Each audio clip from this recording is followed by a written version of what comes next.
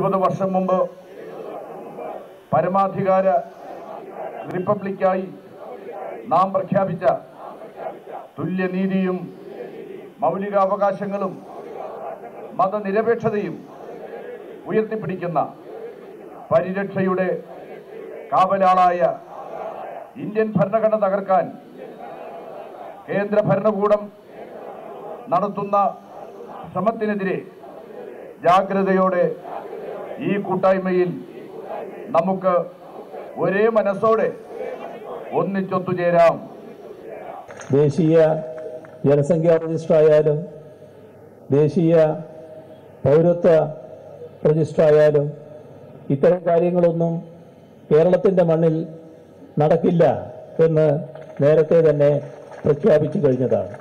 പക്ഷേ നമുക്ക് വിശ്രമിക്കാൻ പറ്റില്ല.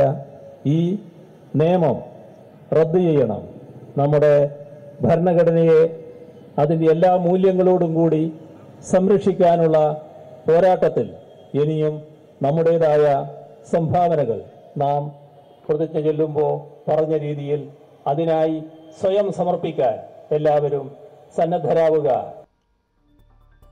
നമസ്കാരം. പൗരത്വ പ്രക്ഷോഭത്തിൽ മനുഷ്യ ശൃംഖല തീർത്ത് എൽ ഡി എഫ്. മനുഷ്യച്ചങ്ങലയും മനുഷ്യമതിലുമൊന്നും എൽ ഡി എഫിന് പുത്തരിയല്ല. ആളെ കൂട്ടാനും വിജയിപ്പിക്കാനും ശക്തമായ സംഘടനാ സംവിധാനം സി പി എമ്മിനുണ്ട് ഇടതുമുന്നണിക്കുണ്ട്. എന്നാൽ പൗരത്വ ഭേദഗതി നിയമത്തിനെതിരായ ഈ പ്രതിഷേധ ശൃംഖല അതിന്റെ പങ്കാളിത്തം കൊണ്ടാണ് ശ്രദ്ധേയമായത്. യു ഡി എഫിനെയും മുസ്ലിം ലീഗിനെയും ഒക്കെ പിന്തുണയ്ക്കുന്ന സമുദായ സംഘടനകളും മത നേതാക്കളും മനുഷ്യ ശൃംഖലയിൽ അണിനിരന്നു. പൗരത്വ പ്രക്ഷോഭത്തിന്റെ നേതൃത്വം അങ്ങനെ എൽ ഡി എഫിന് കൈവരികയാണോ? പ്രതിഷേധിക്കുന്ന വിവിധ വിഭാഗങ്ങൾക്ക് വിശ്വാസം ഇടതുമുന്നണിയെയാണോ? കേരളത്തിൽ പൗരത്വ പ്രക്ഷോഭത്തിന്റെ യഥാർത്ഥ നായകൻ പിണറായി വിജയനാണോ?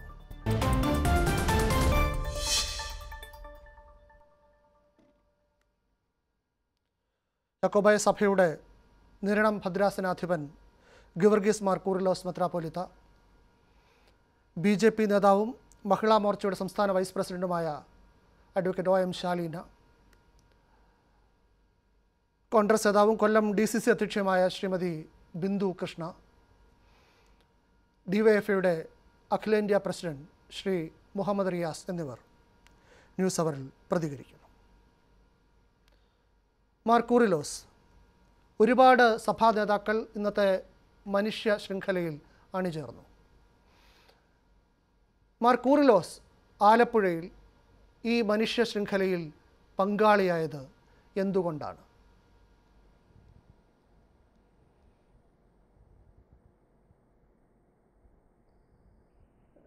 വിനു സൂചിപ്പിച്ച പോലെ മനുഷ്യ മഹാശൃംഖലയിൽ ഇന്ന് ആലപ്പുഴയിൽ ഞാനും കണ്ണു ചേർന്നു എന്നുള്ളത് ശരിയാണ്. ഞാനത് നേരത്തെ പ്രഖ്യാപിക്കുകയും ചെയ്തിരുന്നു. പ്രധാനമായിട്ട് രണ്ട് കാരണങ്ങളാണ്.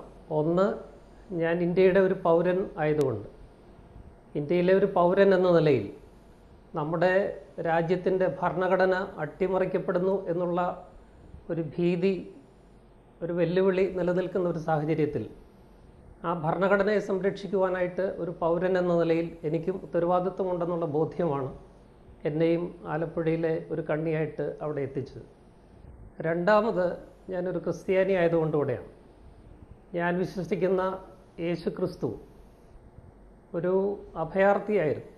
ജനിച്ച ഉടനെ തന്നെ സാമ്രാജ്യത്വ ശക്തികൾ അദ്ദേഹത്തെ ഉന്നം വയ്ക്കുകയും അദ്ദേഹത്തെ നിഗ്രഹിക്കുവാൻ ആഗ്രഹിക്കുകയും ചെയ്ത ആ ഒരു പശ്ചാത്തലത്തിൽ സ്വന്തം ജീവനെ രക്ഷിക്കുവാൻ വേണ്ടി മാതാപിതാക്കൾക്ക് മകനെയും കൊണ്ട് മറ്റൊരു രാജ്യത്തേക്ക് പലായനം ചെയ്യേണ്ടി വന്ന ഒരു അഭയാർത്ഥിയായിരുന്നു യേശുക്രിസ്തു. അതുകൊണ്ട് യേശുക്രിസ്തുവിനെ ദൈവത്തെ കാണേണ്ടത് അഭയാർത്ഥികളിലാണ് മറ്റുള്ളവരിലാണ് അപരത്വം കൽപ്പിക്കപ്പെടുന്നവരിലാണ്.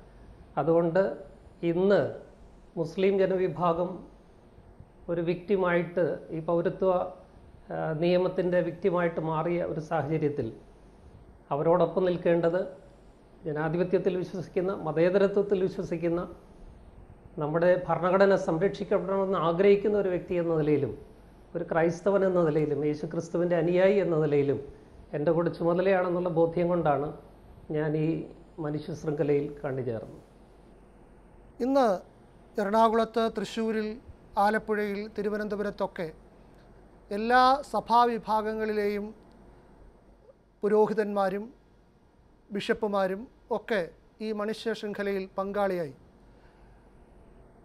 കന്യാസ്ത്രീകളെയും കണ്ടു.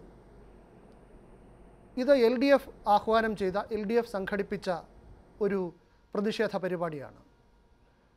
നേരത്തെ മെത്രാപ്പോലിത്ത സൂചിപ്പിച്ച എല്ലാ പ്രതിഷേധങ്ങളും പ്രകടിപ്പിക്കാൻ എൽ ഡി എഫിന്റെ ഒരു സമരമുഖം തെരഞ്ഞെടുത്തത് എന്തുകൊണ്ടാണ്? വ്യക്തിപരമായി ഞാൻ ഒരു ഇടതുപക്ഷ ചിന്തയുള്ളയാളാണ് ഇടതുപക്ഷ സഹയാത്രികനാണ്. അതുകൊണ്ട് അതുകൂടെ ഇതിനൊരു കാരണമായിട്ടുണ്ട് എന്നുള്ള കാര്യത്തിന് സംശയമൊന്നുമില്ല. പക്ഷേ ഇവിടെ എൽ ഡി എഫ് അതിന് നേതൃത്വം നൽകി എന്നുള്ളത് ഒരു യാഥാർത്ഥ്യമാണ്. പ്രത്യേകിച്ച് പിണറായി വിജയൻ നേതൃത്വം നൽകുന്ന ഇടതുപക്ഷ സർക്കാർ വളരെ ആർജവത്തോടു കൂടിയാണ് ഈ വിഷയം ഏറ്റെടുത്തിരിക്കുന്നത്. രാജ്യത്തിന് തന്നെ മാതൃകയായിട്ട് ദേശീയ തലത്തിൽ തന്നെ ഒരു വലിയ പ്രക്ഷോഭത്തിന് പ്രതിഷേധത്തിന് നേതൃത്വം നൽകുന്ന രീതിയിലാണ് ശ്രീ പിണറായി വിജയൻ നേതൃത്വം നൽകുന്ന ഗവൺമെന്റും എൽ ഡി എഫും ഈ കാര്യത്തിൽ മുന്നോട്ടിറങ്ങിയിട്ടുള്ളത്. അതിനെ അഭിനന്ദിക്കാതെ തരമില്ല. അതെല്ലാവരും മനസ്സിലാക്കി കഴിഞ്ഞു. ഇപ്പോൾ ഒരു ഇസ്ലാമിനെ മാത്രം ബാധിക്കുന്ന ഒരു പ്രശ്നമായിട്ടല്ല ഇന്നിപ്പോൾ ജനങ്ങൾ ഇത് ഏറ്റെടുത്തിരിക്കുന്നു. നമ്മുടെ മതേതരത്വത്തിന് ഒരു വെല്ലുവിളി ഒരു ഭീതി വന്നിരിക്കുകയാണ്. നമ്മുടെ രാജ്യം രാജ്യമായിട്ട് നിലനിൽക്കണമെങ്കിൽ ഇന്ത്യ ഇന്ത്യയായി തുടരണമെങ്കിൽ എല്ലാ വിഭാഗ ജനങ്ങൾക്കും ഇവിടെ ഒരേ സ്ഥാനവും തുല്യ അവകാശങ്ങളും സംരക്ഷിക്കപ്പെടണമെങ്കിൽ നമ്മുടെ ഭരണഘടന വിഭാവന ചെയ്യുന്ന സമത്വവും സമഭാവനയും നിലനിൽക്കണമെങ്കിൽ ഇസ്ലാമിനൊരു ഭീഷണി ഒരു പ്രശ്നം ഉണ്ടാകുമ്പോൾ മതേതരത്വത്തിൽ വിശ്വസിക്കുന്ന എല്ലാവരും കൂടെ ചേർന്നാണ് അത് സംരക്ഷിക്കേണ്ടത്. അത് നമ്മുടെ ജനം കേരളത്തിലെ സമൂഹം തിരിച്ചറിഞ്ഞിട്ടുണ്ട്. അതുകൊണ്ടാണ് ശക്തമായ ഒരു ജനവികാരം ഈ കാര്യത്തിൽ വന്നിട്ടുള്ളത് ഞാൻ പൂർണമായിട്ട് വിശ്വസിക്കുന്നു. എൽ ഡി എഫിന് ആ കാര്യത്തിൽ ക്രെഡിറ്റ് എടുക്കാൻ പറ്റും. പക്ഷേ ശ്രീ മാറി കുറിലോസിന്റെ കാര്യത്തിൽ ഇപ്പോൾ പറഞ്ഞ ഇടതുപക്ഷത്തിന് അനുകൂലമായ നിലപാടുകൾ നമുക്ക് സമ്മതിക്കാം. അങ്ങനെയുള്ള പല പരസ്യ പ്രതികരണങ്ങളും നടത്തിയിട്ടുണ്ട്. ഇടതുവേദികളിൽ മിക്കപ്പോഴും ഒരു സാന്നിധ്യവുമാണ്. അങ്ങനെ ഇല്ലാത്ത ഇപ്പോൾ യാക്കോബായ സഭയിലെ തന്നെ അങ്ങനെ അല്ലാത്ത മെത്രാപ്പൊലിത്തമാരെ കൊച്ചിയിൽ കണ്ടു. പരസ്പരം ഏറ്റുമുട്ടുന്നുണ്ടെങ്കിലും യാക്കോബായ സഭയുടെ മാത്രമല്ല ഓർത്തഡോക്സ് സഭയുടെ മെത്രാപ്പോലിത്തായെ തൃശ്ശൂരിൽ കണ്ടു. ആ സഭയിലെ പല വൈദികരെയും തിരുവനന്തപുരത്ത് കണ്ടു. മറ്റ് പല സഭാവിഭാഗങ്ങളിലെയും ബിഷപ്പുമാരെയും വൈദികരെയും ഈ കാസർഗോഡ് മുതൽ തിരുവനന്തപുരം കളിക്കവിള വരെയുള്ള ഈ ശൃംഖലയിൽ കാണാനിടയായി. മാർ കൂറിലോസിന് ഇത് ഇടത് സമീപനം കൂടി പ്രകടിപ്പിക്കാനുള്ള ഒരു വേദിയായി കാണാമെങ്കിൽ മറ്റുള്ളവരെ അതിന് പ്രേരിപ്പിച്ചത് എന്തായിരിക്കും? ഞാൻ വിശ്വസിക്കുന്നത് നമ്മുടെ മതേതരത്വത്തിന്റെ ഉജ്ജ്വലമായ ഒരു മുഖമാണ് ഇന്ന് കേരളം കണ്ടത് എന്നുള്ളത് തന്നെയാണ്. യാക്കോബായ സഭയെക്കുറിച്ച് പരാമർശിച്ചതുകൊണ്ട് യാക്കോബായ സഭയ്ക്ക് ഇന്നത്തെ ഗവൺമെന്റിനോട് ഒരു കടപ്പാട് തോന്നിയാൽ അതിനാരെയും കുറ്റം പറയാൻ സാധിക്കുകയില്ല. കാരണം യാക്കോബായ സഭയുടെ ഒരു പ്രതിസന്ധിയിൽ ആ കാര്യത്തിലൊക്കെ ഒത്തിരി നല്ല കാര്യങ്ങൾ ചെയ്യുവാനായിട്ട് ഞങ്ങളുടെ പ്രതിസന്ധിയെ മറികടക്കുവാനായിട്ട് നീതിയുടെ പക്ഷത്ത് നിന്നുകൊണ്ട് ഈ ഗവൺമെന്റ് പല കാര്യങ്ങളും ചെയ്തു എന്നുള്ളതൊരു യാഥാർത്ഥ്യമാണ്. അതുകൊണ്ട് അതിന്റെ ഒരു നന്ദി പ്രകടനം കൂടെ ഇതിനകത്ത് പ്രതിഫലിച്ചിട്ടുണ്ടെങ്കിൽ അതിൽ അതിശയമൊന്നും ഞാൻ കാണുന്നില്ല. പക്ഷേ അതിലൊക്കെ ഉപരിയായിട്ട് ആ കാര്യത്തിൽ ആ ഒരു പെർസ്പെക്റ്റീവിൽ ഒതുങ്ങാനായിട്ട് ഞാൻ ആഗ്രഹിക്കുന്നില്ല. അതിലുപരിയായിട്ട് എനിക്ക് ഇതുവരെയുള്ള ഒരു നിരാശയെന്ന് പറയുന്ന സഭാ നേതൃത്വവും സഭകളും ഒന്നും പ്രത്യക്ഷമായിട്ട് ആർജവത്തോടുകൂടി രംഗത്ത് വന്നില്ല എന്നുള്ളതായിരുന്നു. ഇന്നത്തെ ഒരു പങ്കാളിത്തത്തിൽ കൂടി ആ ആശങ്ക അല്പമെങ്കിലും എനിക്ക് മാറിയിട്ടുണ്ട്. സഭകളൊക്കെ ശബ്ദിക്കാൻ തുടങ്ങിയിരിക്കുന്നു. ഇതിന്റെ ഗൗരവം തിരിച്ചറിഞ്ഞിരിക്കുന്നു. ഇന്ന് ഇസ്ലാമാണെങ്കിൽ നാളെ ക്രിസ്തുമതമായിരിക്കും. പിന്നെ ദളിതരായിരിക്കും ആദിവാസികളായിരിക്കും സ്ത്രീകളായിരിക്കും ലൈംഗിക ന്യൂനപക്ഷങ്ങളായിരിക്കും. എല്ലാവരെയും ബാധിക്കാവുന്ന ഒരു വലിയ വിപത്താണ് വന്നിരിക്കുന്നത് എന്നുള്ള തിരിച്ചറിവ് ജാതി മത വർണവർഗ വ്യത്യാസങ്ങൾക്ക് അതീതമായി ജനങ്ങളെല്ലാം ഈ വിഷയത്തിൽ ഒന്നിപ്പിച്ചിട്ടുണ്ട് എന്നുള്ളത് മതേതരത്വത്തിന്റെ ഒരു വലിയ വിജയമായിട്ട് ഞാൻ കാണുകയാണ്. അതേസമയം തന്നെ ഈ പ്രക്ഷോഭത്തിൽ പങ്കെടുക്കാത്ത പലരും ലവ് ജിഹാദ് പോലെയുള്ള ആരോപണങ്ങൾ ഉന്നയിച്ച് ഈ പ്രക്ഷോഭത്തിന്റെ മുന ഒടിക്കുന്നതും മാർ കൂർലോസ് അടക്കം കാണുന്നുണ്ടാവും. അങ്ങനെയും ഈ ക്രൈസ്തവ സഭാ നേതൃത്വത്തിൽ നിന്ന് ഇടപെടലുകൾ ഉണ്ടാവുന്നുണ്ട്. അങ്ങയുടെ നിരീക്ഷണം പൂർണമായിട്ടും ശരിയാണ്. ഞാനും ആ ആശങ്ക പങ്കുവെക്കുകയാണ്. ഇന്ന് രാവിലെ ഞാൻ ഇരവി പേരൂര് ഒരു മർത്തോമ പള്ളിയിൽ എബ്രഹാം മാർത്തോമ സ്മാരക പ്രഭാഷണത്തിൽ ഈ കാര്യം സൂചിപ്പിക്കുകയും ചെയ്തു. ശക്തമായി നിലപാടുകൾ എടുക്കേണ്ട ഉയ ഉറച്ച നിലപാടുകൾ എടുക്കേണ്ട ഉറച്ച ശബ്ദത്തിൽ പ്രതിഷേധിക്കേണ്ട ഒരു സമയത്ത് സഭാ നേതൃത്വം പലരും മിണ്ടാതെ ഇരിക്കുന്നതും അർത്ഥവത്തായ അർത്ഥഗർഭമായ മൗനം ദീക്ഷിക്കുന്നതുമൊക്കെ ജനങ്ങളും പൗരസമൂഹവും മതേതര സമൂഹവും ഒക്കെ കാണുന്നുണ്ട്. ഒരുപക്ഷെ ലത്തീൻ കത്തോലിക്ക സഭയിലെ സുസൈബാക്യം പിതാവ് മാത്രമാണ് ആർജവത്തോടു കൂടി ശക്തമായൊരു നിലപാടെടുത്തതെന്നാണ് ഞാൻ വായിക്കുന്നത്. പക്ഷേ ഇന്നത്തെ ഈ മനുഷ്യ ശൃംഖലയിൽ അതിനപ്പുറത്തേക്ക് സഭകളുടെ ഒരു പങ്കാളിത്തം ഉണ്ടായതിൽ ഞാൻ അഭിമാനിക്കുന്നു സന്തോഷിക്കുന്നു. പക്ഷേ ഇപ്പോഴും നിശബ്ദരായിരിക്കുന്ന സഭാ നേതൃത്വത്തോട് സഹതപിക്കുകയല്ലാതെ മറ്റു മാർഗമില്ല. തീർച്ചയായും ഇന്ന് തിരുവനന്തപുരത്തെ ലത്തീൻ അതിരൂപതയിലടക്കം ലത്തീൻ ദേവാലയങ്ങളിൽ പൗരത്വ ഭേദഗതി നിയമത്തിനെതിരായ ഇടയലേഖനം വായിക്കുകയുണ്ടായി. അത് മതാധിഷ്ഠിത രാഷ്ട്രത്തിലേക്കുള്ള ചുവടുവെപ്പാണോ എന്ന ആശങ്ക അവർ പങ്കുവയ്ക്കുകയും ചെയ്തു.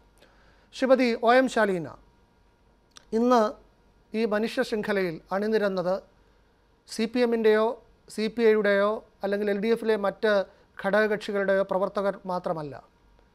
ഒരുപാട് ആളുകൾ മതനേതാക്കൾ സാംസ്കാരിക പ്രവർത്തകർ. ഈ പങ്കാളിത്തം ഇത് ഒരു സമൂഹത്തെ എത്രമാത്രം ആശങ്കപ്പെടുത്തുന്നു? ഇന്ത്യൻ ഭരണഘടനയുടെ അന്തസത്ത തന്നെ ഇല്ലാതാകുമോ എന്ന് ഭയപ്പെടുത്തുന്നു എന്ന് ബി ജെ പി നേതൃത്വത്തിന് വ്യക്തമാക്കി നൽകുന്നുണ്ടോ? ഒരിക്കലുമില്ല. കാരണം സിറ്റിസൺഷിപ്പ് അമെൻമെന്റ് ആക്ട് എന്താണ് എന്നുള്ളത് വളരെ വ്യക്തമായിട്ട് മനസ്സിലാക്കിയ ആളുകളാണ് ഞങ്ങൾ.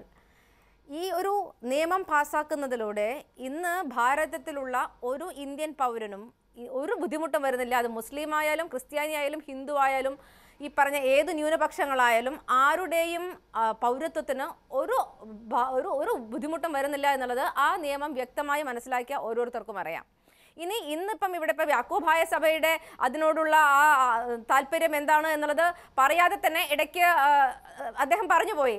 കാരണം ഒരു ഉപകാര സ്മരണയാണ് അവരുടെ കാര്യത്തിൽ. ഇനിയിപ്പം എല്ലാ ആളുകളും ഇവിടെയുള്ള കേരളത്തിലുള്ള ആളുകളെ ഈ ഒരു വിഷയത്തിൽ തെറ്റിദ്ധരിപ്പിക്കാൻ കേരളത്തിലെ ഇടതുമുന്നണി സർക്കാരിനും അതുപോലെ തന്നെ പ്രതിപക്ഷത്തിനും സാധിച്ചു എന്നുള്ളത് വളരെ വ്യക്തമാണ്. ആളുകളുടെ പങ്കാളിത്തം കണ്ട നമുക്കറിയാം. എൽ ഡി എഫ് എന്ന് പറയുന്നത് മതേതരം എന്ന് പറയുമ്പോൾ ഇപ്പം ഇന്നത്തെ അവരുടെ എൽ ഡി എഫിന്റെ മനുഷ്യ ശൃംഖല കണ്ടിട്ടുണ്ടെന്നുണ്ടെങ്കിൽ അതൊരു മതാധിഷം എങ്ങനെയാണ് ഒരു സമസ്ത നടത്തിയാൽ മതിയായിരുന്നല്ലോ? അപ്പം ഇതല്ല ഇത് ഇനിയിപ്പം എൽ ഡി എഫിന്റെ ഇത്രയും വലിയ ഒരു മനുഷ്യ ശൃംഖല കണ്ടിട്ട് പേടിക്കേണ്ട കാര്യമൊന്നും ബി ജെ പിക്കില്ല. കാരണം ഇതിലും വലിയ അല്ലെങ്കിൽ വനിതാ മതിൽ തീർത്ത അതിന്റെ ഒരു ആഫ്റ്റർ ഇഫക്റ്റ് എന്തായിരുന്നു എന്നുള്ളത് കഴിഞ്ഞ തെരഞ്ഞെടുപ്പിൽ നമ്മൾ കണ്ടതാണ്. ഇരുപതിൽ ഒരു സീറ്റിലേക്ക് ഒതുങ്ങിക്കൊണ്ട് എൽ ഡി എഫ് നിരംബരിച്ചായത് ആ വനിതാ മതിലിന് ശേഷമാണ്. അപ്പം വനിതാ മതിലിൽ പങ്കെടുത്ത ആളുകളെങ്കിലും വോട്ട് ചെയ്തിരുന്നെങ്കിൽ ഒരുപക്ഷെ എൽ ഡി എഫിന് ഇതിലും കൂടുതൽ സീറ്റ് കിട്ടുമായിരുന്നു. അപ്പം അതുകൊണ്ട് ഈ പറയുന്ന മനുഷ്യ ശൃംഖലയൊന്നും ബി ജെ പിയെ ആശങ്കി ആശങ്കപ്പെടുത്തുന്നൊന്നുമില്ല. ആളുകൾ പങ്കെടുത്തു എന്നുള്ളത് വാസ്തവം ഞങ്ങൾ അംഗീകരിക്കുന്നു. അതിനുള്ള സംവിധാനങ്ങൾ ഉണ്ടാക്കിയിട്ടുണ്ടായിരുന്നു. അതിനുള്ള പ്രവർത്തനങ്ങൾ അവർ നടത്തിയിട്ടുണ്ടായിരുന്നു. മുപ്പത്തി അയ്യായിരം കേന്ദ്രങ്ങൾ അതിനു വേണ്ടിയിട്ടുള്ള തയ്യാറെടുപ്പുകൾ നടത്തിയിട്ടുണ്ടായിരുന്നു. അതെല്ലാം നല്ലതാണ്. അതെല്ലാം നടക്കട്ടെ. പക്ഷേ ഇതൊന്നും തന്നെ രാഷ്ട്രീയ മുതലെടുപ്പിന് വേണ്ടിയിട്ടുള്ള അവരുടെ പരിപാടികളാണ് എന്ന് തിരിച്ചറിയാനുള്ള സാമാന്യ ബുദ്ധി എന്തായാലും ഇതിൽ പങ്കെടുക്കാത്ത കുറേ ആളുകൾ വീട്ടിലിരിക്കുന്നുണ്ടല്ലോ. എഴുപത് ലക്ഷം പേരായിരുന്നല്ലോ ടാർഗറ്റ് ചെയ്തത്. കുറേ പേര് വീട്ടിലിരിക്കുന്നുണ്ട്. അപ്പം അതുകൊണ്ട് എന്തിനു വേണ്ടിയിട്ടാണ് എൽ ഡി എഫ് തിളയ്ക്കുന്നത് എന്ന് മനസ്സിലാക്കാനുള്ള സാമാന്യ ബുദ്ധി എന്തായാലും കേരളത്തിലെ ജനങ്ങൾക്കുണ്ട്. ആ ജനങ്ങളെല്ലാം വീട്ടിലിരുന്നത് വീക്ഷിക്കുന്നുമുണ്ട്. അപ്പം അതുകൊണ്ട് ഇത്രയും ആളുകൾ പങ്കെടുത്തു അതൊരു വിജയമായി എന്നൊക്കെ കൊട്ടിഘോഷിക്കാൻ എൽ ഡി എഫിന് സാധിക്കും. സാധിക്കട്ടെ. അതിലൊന്നും ഒരു വിരോധവും ഇല്ല പക്ഷേ ഇതൊക്കെ എങ്ങനെയാണ് വോട്ടായി മാറുന്നത്? കഴിഞ്ഞ പ്രാവശ്യം നമ്മൾ കണ്ടതാണ്.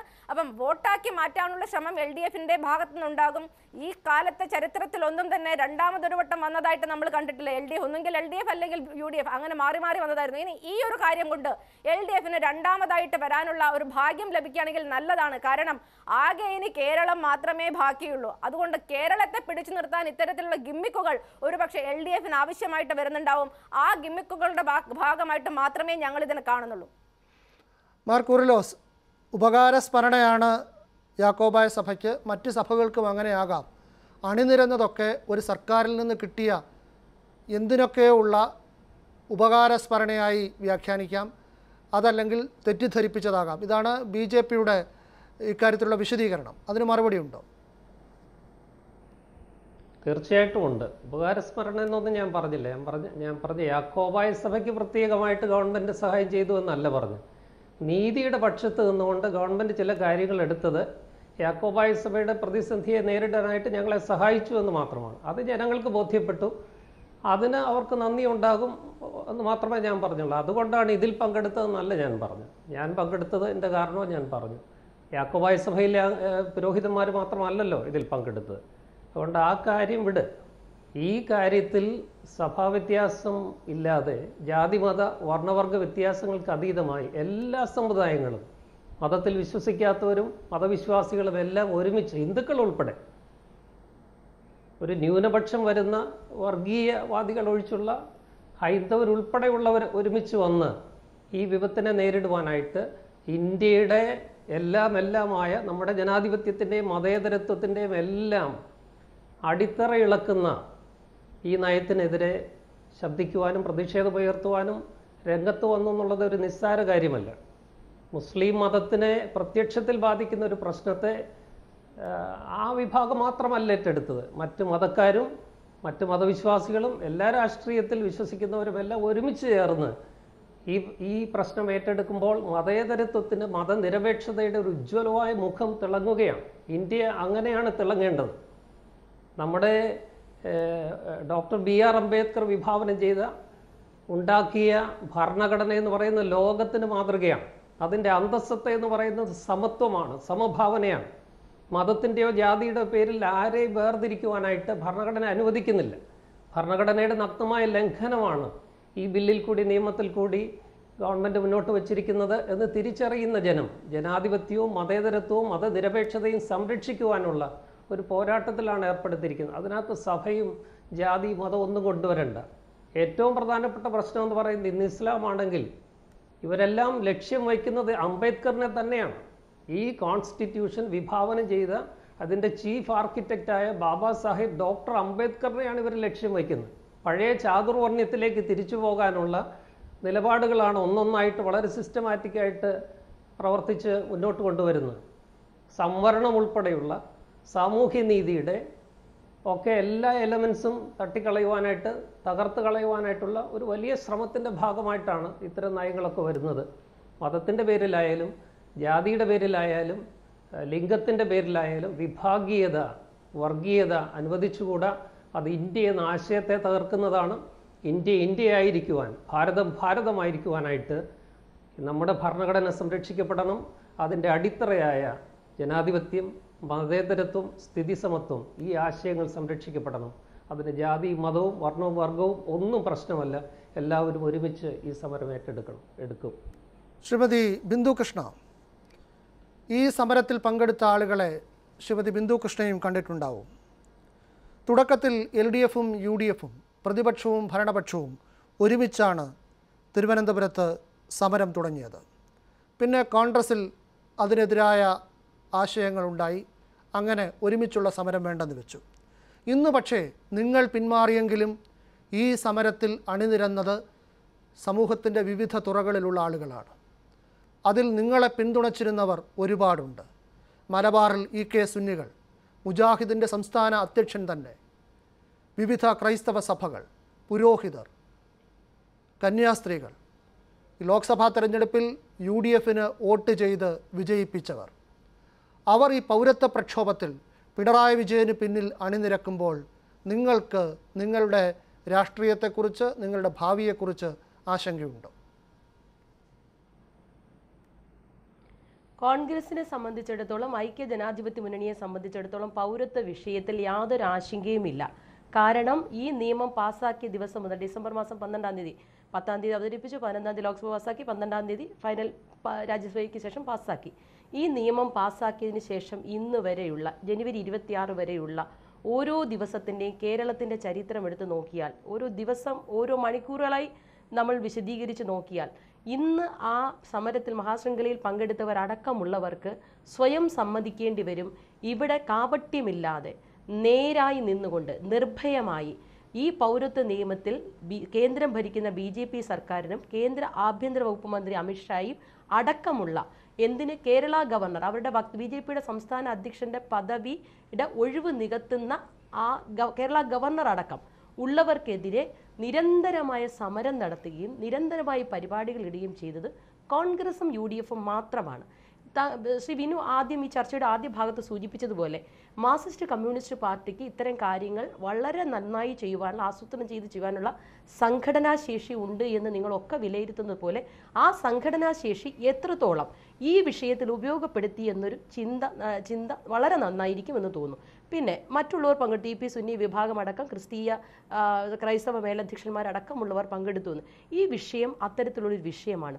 പൗരത്വ ഭേദഗതി നിയമം ഈ രാജ്യത്തെ ജനങ്ങളിൽ വിശേഷിച്ച് ന്യൂനപക്ഷങ്ങളിൽ അതിൽ തന്നെ മുസ്ലിം ജനവിഭാഗങ്ങൾക്കിടയിൽ ഉണ്ടാക്കിയിരിക്കുന്ന ഒരു അരക്ഷിതാവസ്ഥ വളരെ വലുതാണ്. ഞങ്ങൾ കോഴിക്കോട് നടത്തിയ റാലിയിൽ നാല് ലക്ഷത്തിലധികം ആളുകൾ പങ്കെടുത്ത റാലിയിലും ഈ പറയുന്ന നേതാക്കന്മാരെല്ലാം തന്നെ ഭൂരിപക്ഷം ആളുകളും പങ്കെടുത്തിട്ടുള്ളതാണ് മുപ്പതാം തീയതി ഞങ്ങൾ നടത്താൻ പോകുന്ന മനുഷ്യ ഭൂപടം പതിനാല് ജില്ലകൾ ഞങ്ങളുടെ ജില്ലയിലടക്കം പതിനാല് ജില്ലകളിലുമുണ്ട്. ഈ ഇപ്പോൾ പങ്കെടുത്തതിൽ ഭൂരിപക്ഷം പേരും അതിലും പങ്കെടുക്കും. അതിന്റെ അർത്ഥമെന്ന് പറയുന്നത് പൗരത്വ നിയമ അവരെല്ലാവരും പിണറായി വിജയന്റെ കൊടിക്കീഴിൽ അണിനിരന്നു എന്നാണെന്ന് ഞാൻ വിശ്വസിക്കുന്നില്ല. മറിച്ച് പൗരത്വ ഭേദഗതി നിയമത്തിനെതിരായി ഒരു പൊതുസമരത്തെ അത് എല്ലാവരും അതിന്റെ ഭാഗമാകാൻ ആഗ്രഹിക്കുന്നു. അത് കേരളത്തിനെതിരായുള്ള ശ്രീമതി ബിന്ദു കൃഷ്ണ പറയുന്നത് പോലെ അല്ലെങ്കിൽ ഈ ചർച്ചയിൽ പ്രകടിപ്പിക്കുന്നത് പോലെയുള്ള ആത്മവിശ്വാസം എല്ലാ നേതാക്കൾക്കുമില്ല. ഇന്ന് വടകര എം പിയും കെ പി സി സിയുടെ മുൻ അധ്യക്ഷനുമായ ശ്രീ കെ മുരളീധരൻ കോഴിക്കോട്ട് പറഞ്ഞു ഒന്ന് കേൾക്കുക. അന്തരീക്ഷത്തിന്റെ ഗൗരവം പാർട്ടി നേതൃത്വം മനസ്സിലാക്കണം. ഇന്നത്തെ ഇടതുപക്ഷത്തിന്റെ മനുഷ്യച്ചങ്ങലയിൽ യു ഡി എഫിന് സ്ഥിരമായി വോട്ട് ചെയ്യുന്ന പലരും പങ്കെടുത്തിട്ടുണ്ട് എന്നുള്ള യാഥാർത്ഥ്യം മനസ്സിലാക്കണം. ഇവരാണ് കഴിഞ്ഞ ലോക്സഭയിൽ ഞാൻ ഉൾപ്പെടെയുള്ളവരെ വിജയിപ്പിച്ചത്. അങ്ങനെയുള്ളവർക്ക് ഒരു ചാഞ്ചാട്ടം ഉണ്ടായി എന്നുള്ളത് യാഥാർത്ഥ്യമാണ്. അത് പരിഹരിക്കേണ്ടത് കോൺഗ്രസിന്റെ ചുമതലയാണ്. കോൺഗ്രസ് ആണ് യു ഡി എഫിന് നേതൃത്വം നൽകുന്നത്. അതാണ് യു ഡി എഫിലെ ഘടകകക്ഷികൾ ആവശ്യപ്പെടുന്നത്. ന്യൂനപക്ഷങ്ങളാകെ ഭയപ്പെട്ടിരിക്കുക അവർക്ക് ആറ് പ്രൊട്ടക്ഷൻ കൊടുക്കുന്ന അവരോടൊപ്പം അവർ പോകും. ശ്രീമതി. ബിന്ദു കൃഷ്ണ. കാരണം പാർലമെന്റിൽ ഉൾപ്പെടെ എന്തുകൊണ്ടാണ് ആളുകൾ അണിനിരക്കുന്നതെന്ന് ശ്രീ മുരളീധരന് വ്യക്തമായി കഴിഞ്ഞു. കഴിഞ്ഞ തവണ അദ്ദേഹത്തെ അടക്കം വിജയിപ്പിച്ചവർ പിണറായി വിജയന്റെ നേതൃത്വത്തിലുള്ള പ്രക്ഷോഭത്തിൽ അണിനിരക്കുന്നു അവരിൽ വിശ്വാസമർപ്പിക്കുന്നു എന്നത് നിങ്ങളുടെ നേതൃത്വത്തെ ചിന്തിപ്പിക്കണമെന്നാണ് അദ്ദേഹം ഇന്ന് പറഞ്ഞത്. തീർച്ചയായും രണ്ടായിരത്തി പത്തൊൻപതിലെ തെരഞ്ഞെടുപ്പിൽ കോൺഗ്രസ് എടുത്ത ദേശീയ നിലപാടിനോടൊപ്പമാണ് ഈ ഭൂരിപക്ഷം സഭകളും സമുദായ സംഘടനകളും ഒക്കെ നിന്നിട്ടുള്ളത്. അത് ഞങ്ങൾ ഓരോ കാലഘട്ടത്തിലും എടുക്കുന്ന ദേശീയ പ്രശ്നങ്ങളിലെ നിലപാടുകൾക്കനുസരിച്ചാണ് തെരഞ്ഞെടുപ്പുകളിൽ വോട്ടും അതുപോലെ സ്ഥാനാർത്ഥികൾക്ക് അനുകൂലമായി നിലപാടെടുക്കുന്നതും. ഇത് ഇന്ന് ഈ മനുഷ്യ ശൃംഖലയിൽ പങ്കെടുത്ത മുഴുവൻ പേരും സി പി എമ്മിന്റെയും പിണറായി വിജയന്റെയും അനുയായികളായി മാറി എന്ന രാഷ്ട്രീയ നിരീക്ഷണം അതൊരു വികലമായ രാഷ്ട്രീയ നിരീക്ഷണം തോന്നുന്നുള്ളൂ. ഈ പ്രക്ഷോഭത്തിൽ അദ്ദേഹത്തിന്റെ നേതൃത്വത്തിൽ അവർക്ക് വിശ്വാസമുണ്ടാകുന്നു. അതാണ് മുരളീധരനെയും ആശങ്കപ്പെടുത്തുന്നത്. അതാണ് കോൺഗ്രസ് നേതൃത്വം ചിന്തിക്കണമെന്ന് അദ്ദേഹം ആവശ്യപ്പെടുന്നത്. പക്ഷെ ആ വിശ്വാസ്യതയ്ക്ക് എന്ത് അടിസ്ഥാനമാണ് ഉള്ളത്? ഒരു കാര്യം പറഞ്ഞു ജനങ്ങൾ തന്നെ. കേരള ഗവർണർ കേരളത്തിന്റെ നിയമസ ഒരിക്കലുമല്ല അല്ല ആ നിരന്നിരുന്ന ജനങ്ങളെ കുറച്ച് കാണുകയല്ല മറിച്ച് കേരള നിയമസഭയെ അവഹേളിച്ച കേരള ഗവർണർക്കെതിരായിട്ട് പോലും തന്റെ ഇടത്തോടെ ഒരു അഭിപ്രായം പറയുവാൻ കേരളത്തിന്റെ മുഖ്യമന്ത്രി തയ്യാറാകുന്നില്ല. ഇന്ന് നിയമവകുപ്പ് മന്ത്രി ശ്രീ എ കെ ബാലന്റെ പ്രസ്താവന കേട്ടാൽ തോന്നുന്നത് സ്ഥിരമായി ബി ജെ പി അധ്യക്ഷൻ കുറേ കാലമായി ഇല്ലാത്തതുകൊണ്ട് ആ ഒഴിവ് നികത്തുന്ന കേരള ഗവർണർ. ഇനിയിപ്പോൾ താൽക്കാലിക ഒഴിവുള്ള സി പി എമ്മിന്റെ സംസ്ഥാന സെക്രട്ടറിയുടെ ഒഴിവ് കൂടി നികത്തുമോ എന്ന് രാഷ്ട്രീയ കേരളം കൗതുകത്തോടെ കാത്തിരിക്കുക. ആ നിലയിൽ പിണറായി വിജയൻ സർക്കാരിനെ അദ്ദേഹം പുകഴ്ത്തിയതാണോ ആ ആശങ്കയ്ക്ക് അടിസ്ഥാനം? അല്ലെങ്കിൽ ആ പരിഹാസത്തിന് അടിസ്ഥാനം അത് മാത്രമല്ലല്ലോ എ കെ ബാലന്റെ പ്രസ്താവനയും കേൾക്കേണ്ടതല്ലേ? എന്തുകൊണ്ട് ഇപ്പോൾ തന്നെ ബഹുമാനപ്പെട്ട പ്രതിപക്ഷ നേതാവിന്റെ നേതൃത്വത്തിൽ കേരളത്തെ നിയമസഭയും കേരളത്തിൽ ഇന്ന് ഈ മനുഷ്യമഹാശൃംഖലയിൽ അണിനിരന്നവർ ഉൾപ്പെടെയുള്ള കേരളത്തിന്റെ പൊതുസമൂഹത്തെ നേരത്തെ ഞാൻ സൂചിപ്പിച്ചതുപോലെ ആർ എസ് എസും ബി ജെ പിക്കാരുമായ ചിലർ ഒഴികെ ഭൂരിപക്ഷം പേരുടെയും പൊതുവികാരം പ്രകടിപ്പിക്കുന്നതിനെതിരായിട്ട് കേരള ഗവർണർ നിൽക്കുമ്പോൾ അദ്ദേഹത്തെ തിരിച്ചു വിളിക്കണമെന്ന് രാഷ്ട്രപതിയോട് ആവശ്യപ്പെടുന്ന ആ പ്രമേയത്തെ പോലും സ്പീക്കർ അത് നിയമപരമാണെന്ന് പറഞ്ഞിട്ടുണ്ട് എങ്കിൽ പോലും അതിന് അനുകൂലിക്കുന്ന രീതിയിലല്ല സി പി എം നിലപാടെടുക്കുന്നത്. എല്ലായിടത്തും ആർ എസ് എസിനോട് അല്ലെങ്കിൽ ബി ജെ പിയോട് അനുഭാവപൂർണമായ നിലപാട് ശ്രീ പിണറായി വിജയന്റെ ഗവൺമെന്റ് എടുക്കുന്നു എന്ന ശക്തമായ സംശയം കേരളത്തിലെ ജനങ്ങൾക്കുണ്ട്. അതുകൊണ്ട് അണിനിരന്ന ആളുകളെ ഇന്നത്തെ മനുഷ്യ ശൃംഖലയിൽ അണിനിരുന്ന ആളുകളെ നിങ്ങൾക്കൊപ്പം നിന്നിരുന്ന പല ജനവിഭാഗത്തെയും ഇവർ പറഞ്ഞു പറ്റിക്കുകയാണ്. ഈ നേതൃത്വത്തിൽ വിശ്വാസം അർപ്പിച്ചിട്ട് അല്ലെങ്കിൽ സി പി എമ്മിന്റെ നേതൃത്വത്തിലുള്ള പൗരത്വ നിയമ ഭേദഗതിക്കെതിരായ പ്രക്ഷോഭത്തിൽ അണിനിരക്കുന്ന ആളുകൾ ഒടുവിൽ വഞ്ചിതരാകുമെന്നാണോ കോൺഗ്രസ് പറയുന്നത്? എന്തായാലും ഇന്ന് ഇതിൽ അണിനിരുന്നവർ ശ്രീ പിണറായി വിജയന് ബ്ലാങ്ക് ചെക്ക് കൊടുത്തിട്ട് നിൽക്കുന്നതാണെന്നുള്ള അഭിപ്രായമൊന്നും എനിക്കില്ല. ശ്രീ പിണറായി വിജയന്റെ ഭരണത്തിന്റെ വൈകല്യങ്ങൾ ചൂണ്ടിക്കാണിക്കാനുള്ള സ്വാതന്ത്ര്യം നിലനിർത്തിക്കൊണ്ട് തന്നെയാണ് പൗരത്വ വിഷയം എന്നുള്ള ഏക വിഷയത്തിൽ ഊന്നിക്കൊണ്ട് ആ ഒരു സമരത്തിൽ അവർ പങ്കെടുത്തിട്ടുള്ളത്. ഇപ്പോൾ ഇടതുപക്ഷ അനുഭാവമുള്ളവരുടെ സ്ഥിതി മറിച്ചാണ്. ഇടതുപക്ഷ അനുഭാവമില്ലാത്തവർ നിഷ്പക്ഷരായ ആളുകൾ അവരൊക്കെ തന്നെ പങ്കെടുക്കുന്നത് ആ പൗരത്വ ബിൽ എന്നുള്ള ഏക വിഷയത്തിൽ അധിഷ്ഠിതമായിട്ടുണ്ട് നോക്കൂ ഈ മുപ്പതാം തീയതി മഹാത്മജി രക്തസാക്ഷിയായ ദിവസം രക്തസാക്ഷിത്വ ദിനത്തെ ഞങ്ങൾ ഭൂപടം നടത്തിയിരിക്കും ആ ഭൂപടത്തിൽ ഈ പറയുന്ന ഭൂരിപക്ഷം പേരും പങ്കെടുക്കും. അത് കേരളത്തിന്റെ പൊതു ചിന്താധാരയാണ്. സി എതിരായിട്ടുള്ള കേരളത്തിന്റെ പൊതുവായ പ്രതിഷേധത്തിന്റെ പ്രതിഫലനമായി മാത്രമേ ഞാൻ അതിനെ കാണുന്നുള്ളൂ മാർക്കോറിലോസ് മാർ കോറിലോസ് മുപ്പതാം തീയതി ഭൂപടത്തിൽ അണിനിരക്കുമോ? ഈ വിഷയത്തിൽ. ആ, ഭൂപടത്തിൽ പങ്കെടു പറഞ്ഞോളൂ. ഹലോ? പറഞ്ഞോളൂ കേൾക്കാം. ഈ വിഷയത്തിൽ കോൺഗ്രസും ശക്തമായ നിലപാടെടുക്കണമെന്ന് തന്നെയാണ് എന്റെ ആഗ്രഹം. അതുകൊണ്ട് അങ്ങനെ ഒരു ഭൂപട നിർമ്മാണം നടത്താൻ അതിൽ പങ്കെടുക്കുവാനും എനിക്ക് സന്തോഷം മാത്രമേ ഉള്ളൂ. ഇടവേളയ്ക്ക് ശേഷം ശ്രീ മുഹമ്മദ് റിയാസിലേക്ക് എത്താം.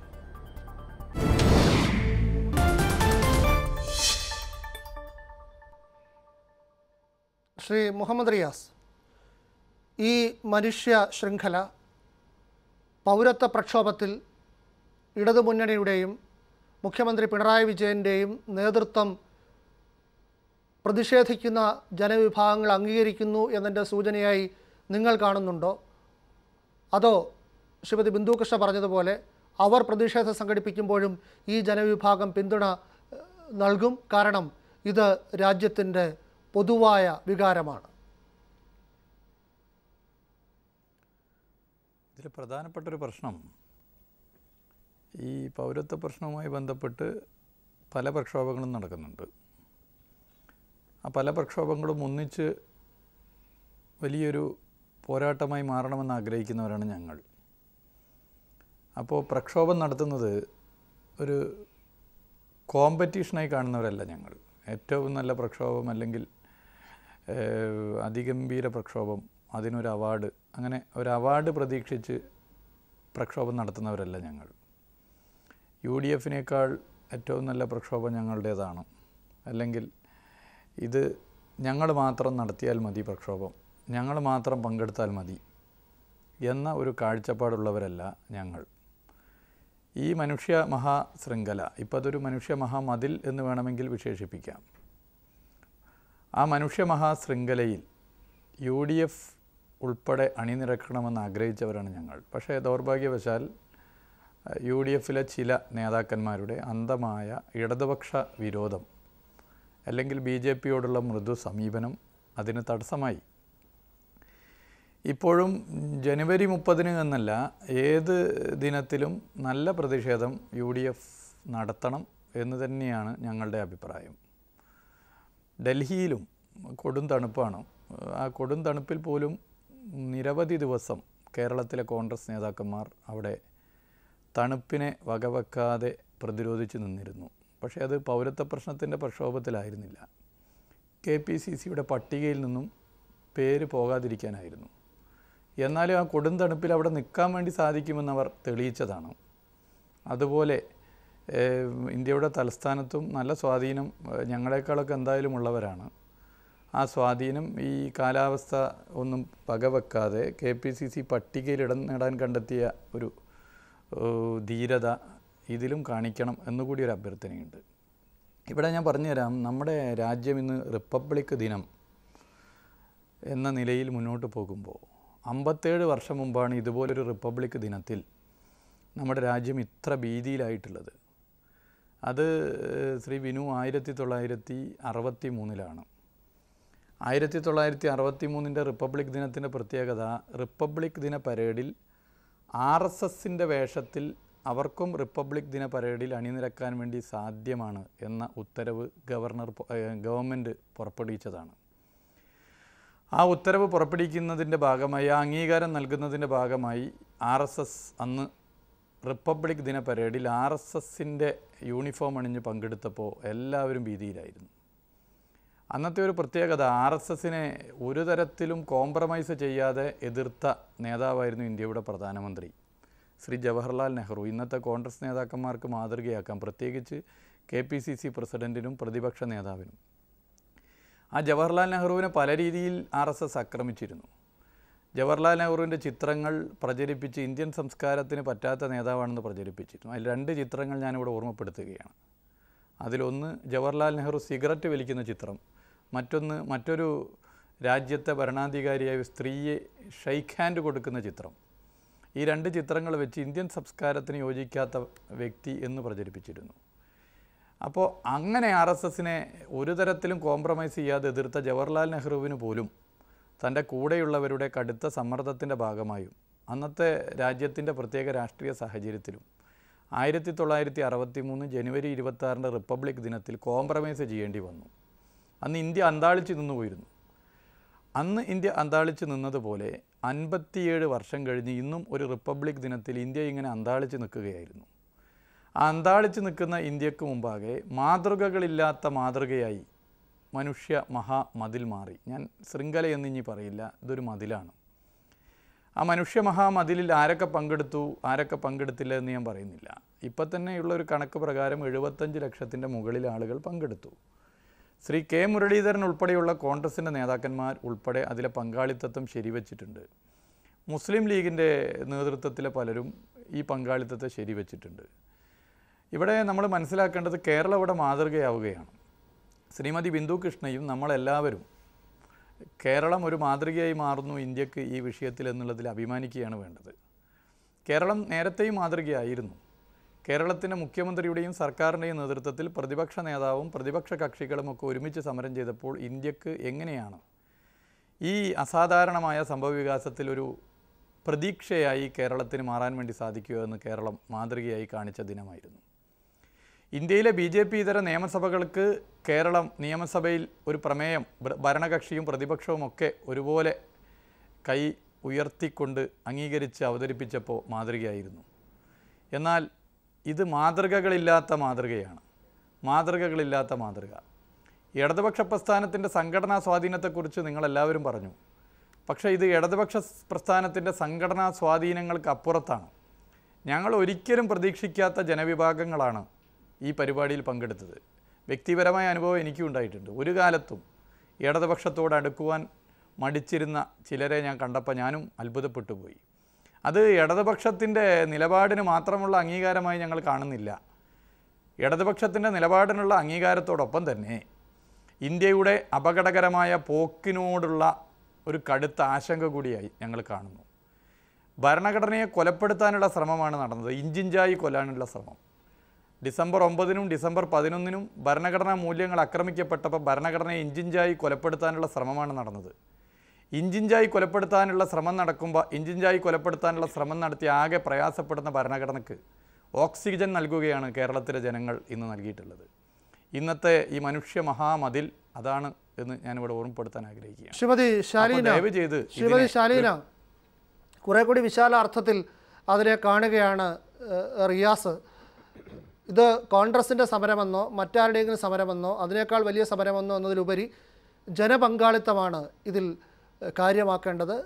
ഇത് മറ്റ് സംഘടനകളും പിന്തുടരേണ്ടതാണ്. അങ്ങനെ വിവിധ തരങ്ങളിൽ പ്രക്ഷോഭം കൂടുതൽ ശക്തമായി ഉയർന്നു വരേണ്ടതാണ്. ഇന്ന് മുഖ്യമന്ത്രിയും പറഞ്ഞു വിശ്രമിക്കാൻ സമയമായിട്ടില്ല എന്ന്. അതുകൊണ്ട് ഈ പ്രക്ഷോഭം ഇല്ലാതാവുകയല്ല.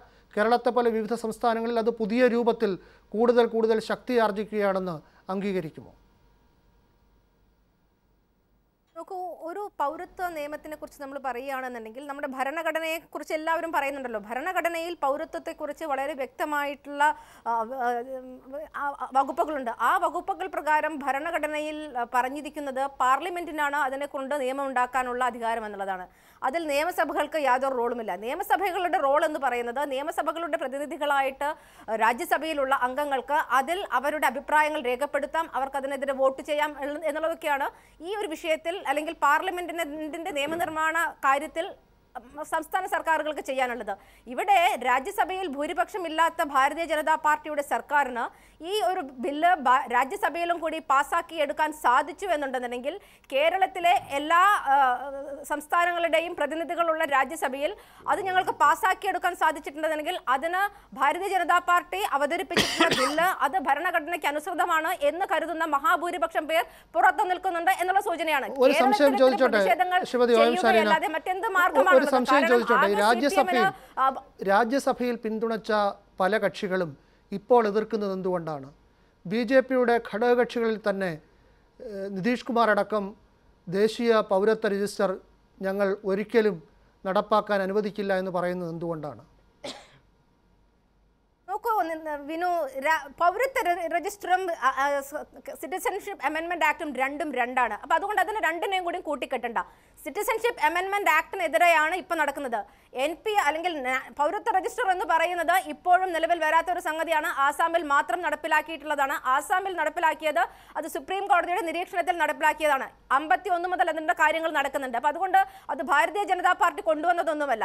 ഇനി എൻ പി എൻ ആർ സിയെ ഇതിന്റെ കൂടെ കൂട്ടിക്കെട്ടേണ്ട കാര്യമില്ല. കാരണം സിറ്റിസൺഷിപ്പ് അമെൻമെന്റ് ആക്ട് എന്ന് പറയുന്നത് അത് കേവലം പുറത്തു നിന്നുള്ള ഫോറിനേഴ്സ് ആയിട്ടുള്ള ആളുകൾ മൂന്ന് രാഷ്ട്രങ്ങളിൽ നിന്നുള്ള ഫോറിനേഴ്സ് ആയിട്ടുള്ള ആളുകൾ ഇവിടെ ഇല്ലീഗൽ ഇമിഗ്രൻസ് ആയിട്ട് ഇവിടെ ഉണ്ടെന്നുണ്ടെങ്കിൽ അവർക്ക് പൗരത്വം നൽകുന്നതിൽ കൊടുക്കുന്ന ഇളവാണ്. ഇവിടെ ഒരു മുസ്ലിം വിഭാഗത്തിൽപ്പെട്ട ഒരാൾക്ക് പോലും ഇന്ന് കേരളത്തിലെ മനുഷ്യ ശൃംഖലയിൽ അണിനിരന്നിട്ടുള്ള ഏതെങ്കിലും ഒരു മുസ്ലിം പൗരന് ഒരു മുസ്ലിം ആയിട്ടുള്ള ഒരാൾക്ക് പൗരത്വം നഷ്ടപ്പെടുമെന്ന് ഇവിടെയുള്ള ആർക്കെങ്കിലും തെളിയിക്കാൻ സാധിച്ചിട്ടുണ്ടെങ്കിൽ ഞങ്ങൾ അംഗീകരിക്കാം. പക്ഷേ അതില്ലാത്തിടത്തോളം കാലം ഈ സി എ കുറിച്ച് ഇപ്പോൾ നടക്കുന്ന പ്രക്ഷോഭങ്ങളൊക്കെ തന്നെ ആ നിയമം എന്താണെന്ന് മനസ്സിലാക്കാതെയാണ് എന്നുള്ളത് വ്യക്തമാണ്. ഇനി എന്തായാലും ഇതിനെ മനസ്സിലാക്കുന്നത് കൊണ്ടാണ് ശ്രീമതി ശാലീന ആ നിയമം കേരളത്തിലെ ജനങ്ങൾക്ക് നന്നായി മനസ്സിലാവുന്നത് കൊണ്ടാണ് ഈ പ്രക്ഷോഭം. കാരണം സുപ്രീം കോടതിയിൽ പൗരത്വം. ശ്രീമതി ശാലീന ഒരുപാട് പൗരത്വം നിർണയിക്കുന്നതിൽ മതം ഒരു ഘടകമാകുന്നു എന്നതിലെ അപകടം നിങ്ങളെക്കാൾ നന്നായി കേരളത്തിലെ ജനത തിരിച്ചറിയുന്നത് കൊണ്ടാണ് ഈ പ്രതിഷേധം. അല്ല കേരളത്തിലെ ജനത ആ തെറ്റിദ്ധരിപ്പിക്കലിൽ വീട് പോയി എന്നുള്ളതാണ് വാസ്തവം. പൗരത്വ അല്ല നിങ്ങൾ നിങ്ങൾ അതില്ല അതല്ല എന്ന് പലവട്ടം പറഞ്ഞിട്ടും കേരളത്തിലെ ജനതയ്ക്ക് അത് തിരിച്ചറിയാനായി എന്നുള്ളതാണ്. തെറ്റിദ്ധരിപ്പിക്കപ്പെട്ടതല്ല ശരിയായ ധാരണ കേരളത്തിൽ രൂപപ്പെട്ടു എന്നുള്ളതാണ്. ആയിക്കോട്ടെ ഇനി നിങ്ങൾക്ക് അങ്ങനെയാണ് ഏഷ്യാനെറ്റിന് വ്യാഖ്യാനിക്കാൻ താല്പര്യമുണ്ടെങ്കിൽ അങ്ങനെ ആയിക്കോട്ടെ അതും ഞങ്ങൾ ഏഷ്യാനെറ്റിനല്ല. ഈ ഒരു രാജ്യത്തെ രാജ്യത്തെ സാമാന്യ ബോധമുള്ള ആളുകൾക്കെല്ലാം ഇത് മനസ്സിലാവും. പൗരത്വം നഷ്ടപ്പെടില്ല എന്നിരിക്കെ. അല്ല പൗരത്വം നിർണയിക്കുന്നതിൽ മതം ഒരു ഘടകമാകുന്നതാണ് ആശങ്കപ്പെടുത്തുന്നത്. മാർ കുരുലോസ് അടക്കമുള്ള ആളുകൾ പ്രകടിപ്പിച്ച ആശങ്ക പ്രകടിപ്പിച്ച ആശങ്ക ഇത് ഭരണഘടനയുടെ അന്തസത്തയെ ചോദ്യം ചെയ്യുന്നു എന്നുള്ളതാണ്. ആ ആശങ്കയാണ് മറ്റ് പല കാര്യങ്ങളിലും എന്ന പോലെ കേരളം ആദ്യമേ മനസ്സിലാക്കുന്നത്. അതിൽ ആശങ്കയ്ക്ക് വകയില്ല. അതിൽ അല്ല പൗരത്വത്തിന് മതം ഒരു ഘടകമാകുമ്പോൾ മതം ഒരു മാനദണ്ഡമാകുമ്പോൾ എന്തുകൊണ്ട് ആശങ്കപ്പെടാതിരിക്കണം? അതാണ് ഞാനും പറയുന്നത്. ആകെ ഈ നിയമം ബാധകമാകുന്നത് നമ്മുടെ രാജ്യത്തെ ജനങ്ങൾക്കല്ല. പുറമേയുള്ള മൂന്ന് രാഷ്ട്രങ്ങളിൽ നിന്നും ഇവിടെ. ജനങ്ങൾക്കാണ്. പുറമേയുള്ള രാഷ്ട്രങ്ങളിൽ നിന്നുള്ളവർ ആ ജനങ്ങളിൽ അഭയാർത്ഥികളായോ നിയമപരമല്ലാതെ ഇവിടെ വന്നവരോ ഇവിടെ വന്ന ശേഷം അവർക്ക് വിസ നഷ്ടയുടെ കാലാവധി കഴിഞ്ഞിട്ട് ഇവിടെ തുടരുന്നവരോ ഒക്കെ ആയിക്കോട്ടെ നിയമപരമല്ലാതെ ഈ രാജ്യത്ത് തുടരുന്ന.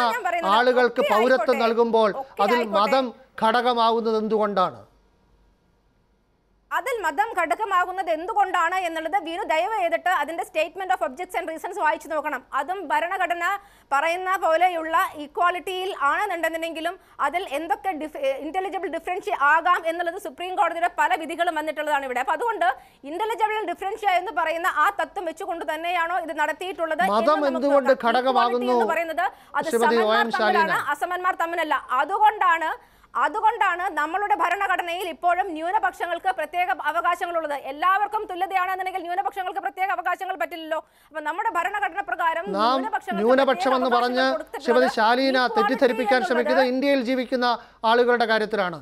പുറത്തു നിന്നുള്ളവരെ പരിഗണിക്കുമ്പോൾ നമ്മുടെ ഭരണഘടനയ്ക്ക് എന്ത് ന്യൂനപക്ഷം എന്ത് മതം? ഇന്റലിജബിൾ ഡിഫറൻസ് ആകാമോ വേണ്ടയോ? ഇനി വിനു ഇതൊന്നും തീരുമാനിക്കാൻ നമ്മൾ സുപ്രീം കോടതിയല്ലല്ലോ.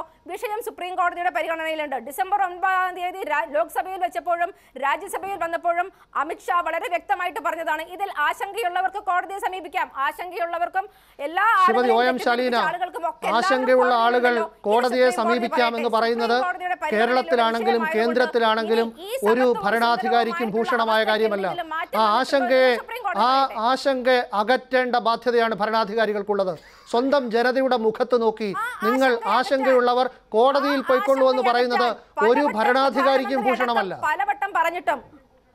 അതെ അതാണ് പറഞ്ഞത്. ആ ആശങ്കയകറ്റാൻ പലവട്ടം പ്രധാനമന്ത്രി ആവർത്തിച്ചു പറഞ്ഞതാണ്. ഇവിടെ ഇവിടെയുള്ള ഒരു പൗരനും ഇതിന്റെ യാതൊരു ബുദ്ധിമുട്ടും ഉണ്ടാവില്ല. അവരുടെ പൗരത്വം നട- നഷ്ടപ്പെടുന്ന ഒരവസ്ഥയും ഉണ്ടാവില്ല എന്നുള്ള അവസ്ഥ ഉണ്ടായിട്ടും ഇന്നും ഇവിടെയുള്ള സാധാരണ ഈ ഇതിൽ നിലനിന്നിട്ടുള്ള പല മുസ്ലിം സഹോദരന്മാരോട് നിങ്ങൾ ചോദിച്ചോളൂ. അവരെല്ലാവരും അവരുടെ ഐഡന്റിറ്റി കാർഡ് തലയ്ക്കടിയിൽ വെച്ച് കിടന്നുറങ്ങുന്ന ഒരു അവസ്ഥയിലേക്ക് കൊണ്ടുപോയിട്ടുണ്ടെന്നുണ്ടെങ്കിൽ അതിവിടെ തെറ്റിദ്ധരിപ്പിക്കപ്പെട്ടു എന്നുള്ളത് തന്നെയാണ് ഇതിന്റെ വാസ്തവം. ആ വാസ്തവത്തെ മറികടക്കാൻ ഏതായാലും ഇനി ആ കാര്യത്തെ ഒരു തീർപ്പ് ഇവിടുത്തെ നീതിന്യായ വ്യവസ്ഥ തന്നെ കൊണ്ടുവരട്ടെ. അപ്പൊ അതുകൊണ്ട് ആ നീതിന്യായ വ്യവസ്ഥയുടെ തീരുമാനങ്ങൾക്ക് ഇനി നമുക്ക് കാത്തിരിക്കാം. ഒരു- ഒരു നിമിഷം. ശ്രീമതി ബിന്ദു ബിന്ദുകൃഷ്ണ, എന്താണ് പറയാൻ ശ്രമിച്ചത്? ഞങ്ങൾ ഒരു നിമിഷം ശ്രീ ശാലീന ശ്രീ ബിന്ദു ശ്രീമതി ബിന്ദുകൃഷ്ണ.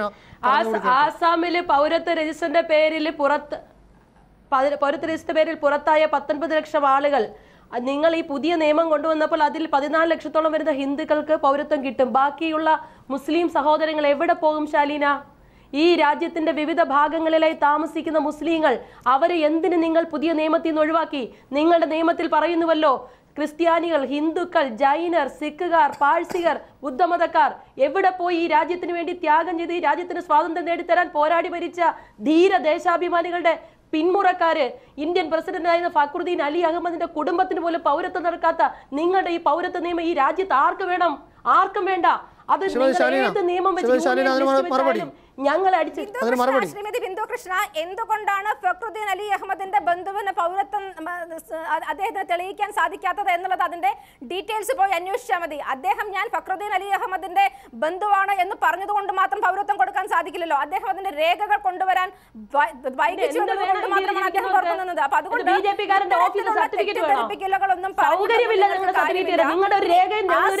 പത്തൊൻപത് ലക്ഷത്തിന്റെ കാര്യം പറയുകയാണെന്നുണ്ടെങ്കിൽ പറയുന്നത് കേൾക്കോ ആസാമിലെ പത്തൊൻപത് ലക്ഷത്തിന്റെ കാര്യമാണ് നിങ്ങൾ പറയുന്നതെങ്കിൽ ഈ പറയുന്ന സ- രണ്ടായിരത്തി പതിനാറിൽ കൊണ്ടുവന്നതാണ്.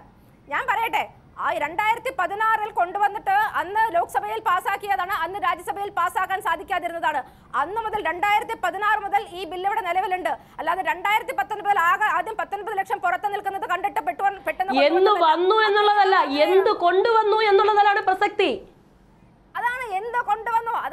എവിടെ പോയി മുസ്ലിം എന്ന പദം എന്ത് എന്തിനു നിങ്ങൾ മതം കൊണ്ടുവന്നു ഒരു ചോദ്യം? രണ്ടാമത് മതത്തിൽ എന്തുകൊണ്ട് മുസ്ലിമിനെ ഒഴിവാക്കി? രണ്ടാമത്തെ ചോദ്യം പറയൂ. അത് മനസ്സിലാക്കി തരൂ മലയാളികൾക്ക്. വായിച്ചു നോക്കൂ. അതിന്റെ statement of objects and reasons വായിച്ചു നോക്കൂ. ഞാൻ കൃത്യമായി വായിച്ച ആളാ. ഞാൻ കൃത്യമായി സിറ്റിസൺസ് അമെന്റ്മെന്റ് ആക്ട് ആളുകളെ വായിച്ച ആളാണ്. അവർക്ക് കൊടുക്കുന്ന ഒരു ഇളവ് മാത്രമാണിത്.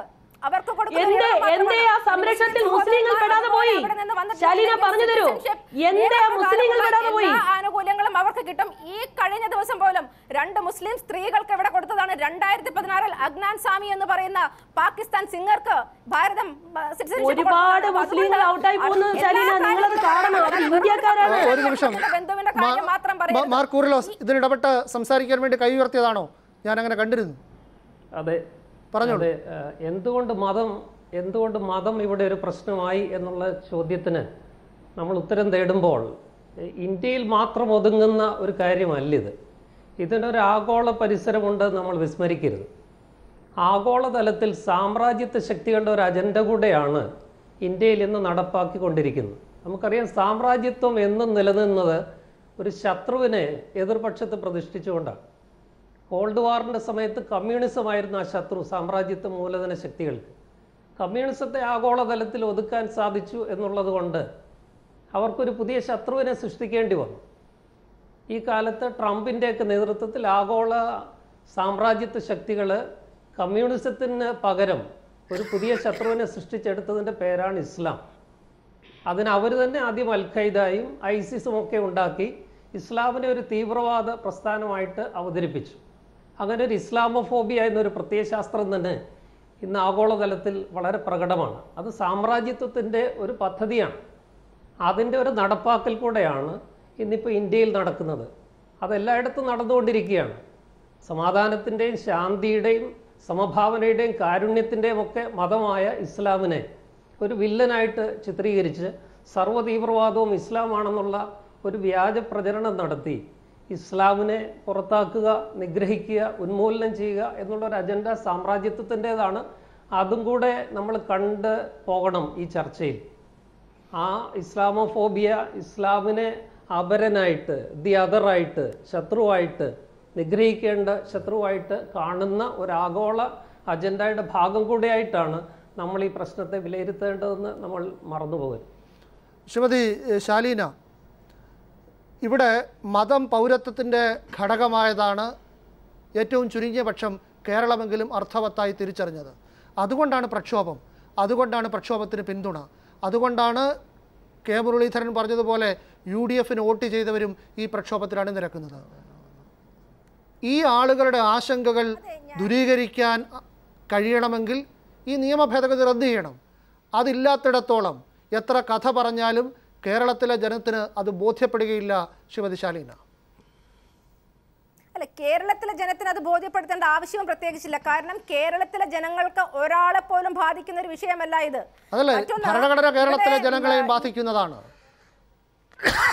അതാണ് ഞാൻ പറഞ്ഞത്. ഭരണഘടനയിലെ ഈക്വാളിറ്റിയുടെ കാര്യമാണെന്നുണ്ടെങ്കിൽ ഇനി സുപ്രീം കോടതി പറയട്ടെ ഈ വിഷയം അതിനനുസരിച്ച് ഉണ്ടാക്കിയതാണോ എന്നുള്ളത്. ഇനി ഇസ്ലാമോഫോബിയയുടെ കാര്യം പറഞ്ഞു. ഈ വിഷയത്തിൽ എന്തുകൊണ്ടാണ് ഈ മൂന്ന് രാജ്യങ്ങളിലെ റിലീജിയസ് പ്രോസിക്യൂഷൻ ഒരു വിഷയമായത് എന്ന് വെച്ചാൽ പാകിസ്ഥാനിൽ അനുഭവിക്കുന്ന റിലീജിയസ് പ്രോസിക്യൂഷൻ ആ റിലീജിയസ് പ്രോസിക്യൂഷനെ കുറിച്ച് യു എനിൽ തന്നെ വളരെ ശക്തമായിട്ടുള്ള റിപ്പോർട്ടുണ്ട്. ബംഗ്ലാദേശിൽ അവിടുത്തെ ന്യൂനപക്ഷ സമുദായം അനുഭവിക്കുന്ന മതപീഡനങ്ങളെ കുറിച്ച് റിപ്പോർട്ടുകളുണ്ട്. എങ്ങനെയാണ് ഈ നിർണയിക്കുക ഇപ്പോൾ ബംഗ്ലാദേശിൽ നിന്നോ പാകിസ്ഥാനിൽ നിന്നോ അഫ്ഗാനിസ്ഥാനിൽ നിന്നോ ഒരാൾ വരുന്നു. അയാൾ വേണമെങ്കിൽ സാമ്പത്തിക നേട്ടത്തിനായി ഇന്ത്യയിലേക്ക് അനധികൃതമായി കുടിയേറിയതായിരിക്കാം. ഈ വരുന്ന ആളുകൾ ഏത് വിഭാഗത്തിൽപ്പെട്ടവരാണെങ്കിലും അവർ മത പീഡനത്തിനിരയായി വന്നതാണെന്ന് എങ്ങനെയാണ് നമ്മൾ നിർണയിക്കുന്നത്? ഈ ഒരു വിഷയത്തിൽ മതപീഡനത്തിനിരയായിട്ട് വന്നതാണ് എന്നുള്ളത് എങ്ങനെ നിർണയിക്കുമെന്നുള്ളതിനെ കുറിച്ച് ഇനി ചട്ടങ്ങൾ വരാനിരിക്കുന്നു. അതിനനുസരിച്ച് അത് നിർണയിക്കപ്പെടും. നിർണയിക്കപ്പെടും ഇനി അല്ല എങ്ങനെയാണ് ഇപ്പോൾ ഇപ്പോൾ ഈ ഈ. ഈ സ്ഥലങ്ങളിൽ നിന്ന് വന്ന ഒരു ക്രിസ്ത്യാനി എന്നിരിക്കട്ടെ ആ ക്രിസ്ത്യാനി ഒരു നല്ല തൊഴിൽ കിട്ടാൻ നല്ല സാമ്പത്തിക അവസ്ഥ ഉണ്ടാക്കാൻ ഇവിടെ. അനധികൃതമായി കുടിയേറിയതാണെന്നിരിക്കട്ടെ അയാൾക്ക് പൗരത്വം കിട്ടും. കാരണം ഈ നിയമം അയാൾ പറഞ്ഞാൽ മതി ഞാൻ മതപീഡനത്തിനിരയായി വന്നതാണ്. അയാൾക്ക് പൗരത്വം കിട്ടും. മതം ഘടകമാക്കുന്ന നിങ്ങൾ എങ്ങനെയാണ് മതപീഡനം നിർണയിക്കുന്നത് അതാ ഞാൻ പറയുന്നത് മതപീഡനത്തിനിരയായിട്ട് വന്ന ആളുകൾ ആരാണ് എന്നുള്ളത് നിർണയിക്കാനുള്ള ചട്ടങ്ങൾ ഇനി വരും. ആ ചട്ടങ്ങൾക്കനുസരിച്ച് അവർക്ക് ആ പരിഗണിക്കും. ചട്ടങ്ങൾ വരാനിരിക്കുന്നേ ഉള്ളൂ.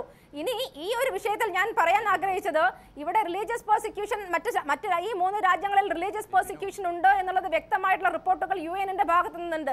ആ യു എന്നിന്റെ ഭാഗത്ത് നിന്നുള്ള റിപ്പോർട്ടുകൾ ആ അംഗീകരിക്കപ്പെട്ട റിപ്പോർട്ടുകൾ എന്താ ഇവിടുത്തെ കേരളത്തിലെ ജനങ്ങൾക്ക് മനസ്സിലാകുന്നില്ലേ? ആ അതേ അന്താരാഷ്ട്ര അവിടെ വന്നിട്ടുള്ള അന്താരാഷ്ട്ര സംഘടനകളും ഏജൻസികളും ആളുകൾക്ക് കൊടുക്കുന്ന ഇര- ഈ. വിഷയത്തിൽ പ്രകടിപ്പിച്ച ആശങ്ക എന്ത് ബി ജെ പി സർക്കാരിന് മനസ്സിലാവുന്നില്ല ഈ മതപീഡനത്തിന്റെ കാര്യത്തിൽ മുസ്ലിം സമുദായത്തിൽപ്പെട്ട ഒരാൾ ഇവിടെ മതപീഡനത്തിന്റെ കാര്യത്തിൽ. യു എൻ അടക്കം പറഞ്ഞ കാര്യങ്ങൾ എന്തേ കേരളത്തിന് മനസ്സിലാവുന്നില്ല എന്ന് ചോദിക്കുന്ന ശ്രീമതി ശാലീന ഈ പൗരത്വ നിയമ ഭേദഗതിയുടെ കാര്യത്തിൽ ഇതേ ഇന്റർനാഷണൽ ഓർഗനൈസേഷൻസ്. പ്രകടിപ്പിച്ച ആശങ്ക കാണാതിരിക്കുന്നത് എന്തുകൊണ്ടാണ് ഇവിടെ ഈ ഒരു നിയമത്തിൽ മുസ്ലിങ്ങൾക്ക് പൗരത്വം നഷ്ടപ്പെടുമെന്നോ അല്ലെങ്കിൽ അവരെ പൗരത്വത്തിന് വേണ്ടി പരിഗണിക്കുന്നോ ഇല്ല എന്ന് പറഞ്ഞിട്ടില്ല. മുസ്ലിങ്ങളാണ് എന്നുണ്ടെങ്കിൽ ഇപ്പോൾ സിറ്റിസൺഷിപ്പ് ആക്ടിലുള്ള എല്ലാ വ്യവസ്ഥകൾക്കും അനുസരിച്ചിട്ടുള്ള സൗകര്യങ്ങൾ അവർക്ക് ലഭിക്കും. ഇനി നേരത്തെ ശ്രീ റിയാസ് പറഞ്ഞൊരു കാര്യം. റിയാസ് കൈവക്കിയോട് ഞാൻ പറയാണ്. ആയിരത്തി തൊള്ളായിരത്തി അറുപത്തി മൂന്നിലെ റിപ്പബ്ലിക് ദിന പരേഡിൽ ആർ എസ് എസ് പങ്കെടുത്തിട്ടുണ്ടെന്നുണ്ടെങ്കിൽ അത് അന്ന് ഇന്ത്യ ഇൻഡോ ചൈന വാറിൽ ആയിരത്തി തൊള്ളായിരത്തി അറുപത്തി രണ്ടിലെ ഇൻഡോ ചൈന വാറിൽ ഭാരതി ഈ- പറഞ്ഞ ഭാരതത്തിന്റെ സുരക്ഷയ്ക്ക് വേണ്ടി അതിർത്തികളിൽ കഷ്ടപ്പെട്ടിട്ടുള്ള ആർ എസ് എസുകാർക്ക് അംഗീകാരം നൽകിക്കൊണ്ടാണ് അന്ന് നെഹ്റു ആ പരേഡിൽ പങ്കെടുക്കാൻ ശ്രമിച്ചത്. അല്ലാണ്ട് വെറുതെ അല്ല നിങ്ങളിപ്പോ ചുവന്ന ഷർട്ടും കാക്കി ട്രൗസറും ഇട്ടുകൊണ്ട് ആളുകളെ നിരത്തിയാൽ അത് ആർ എസ് എസ് ആകാൻ നിങ്ങൾക്ക് സാധിക്കില്ല. ഇടവേളയ്ക്ക് ശേഷം എത്താം.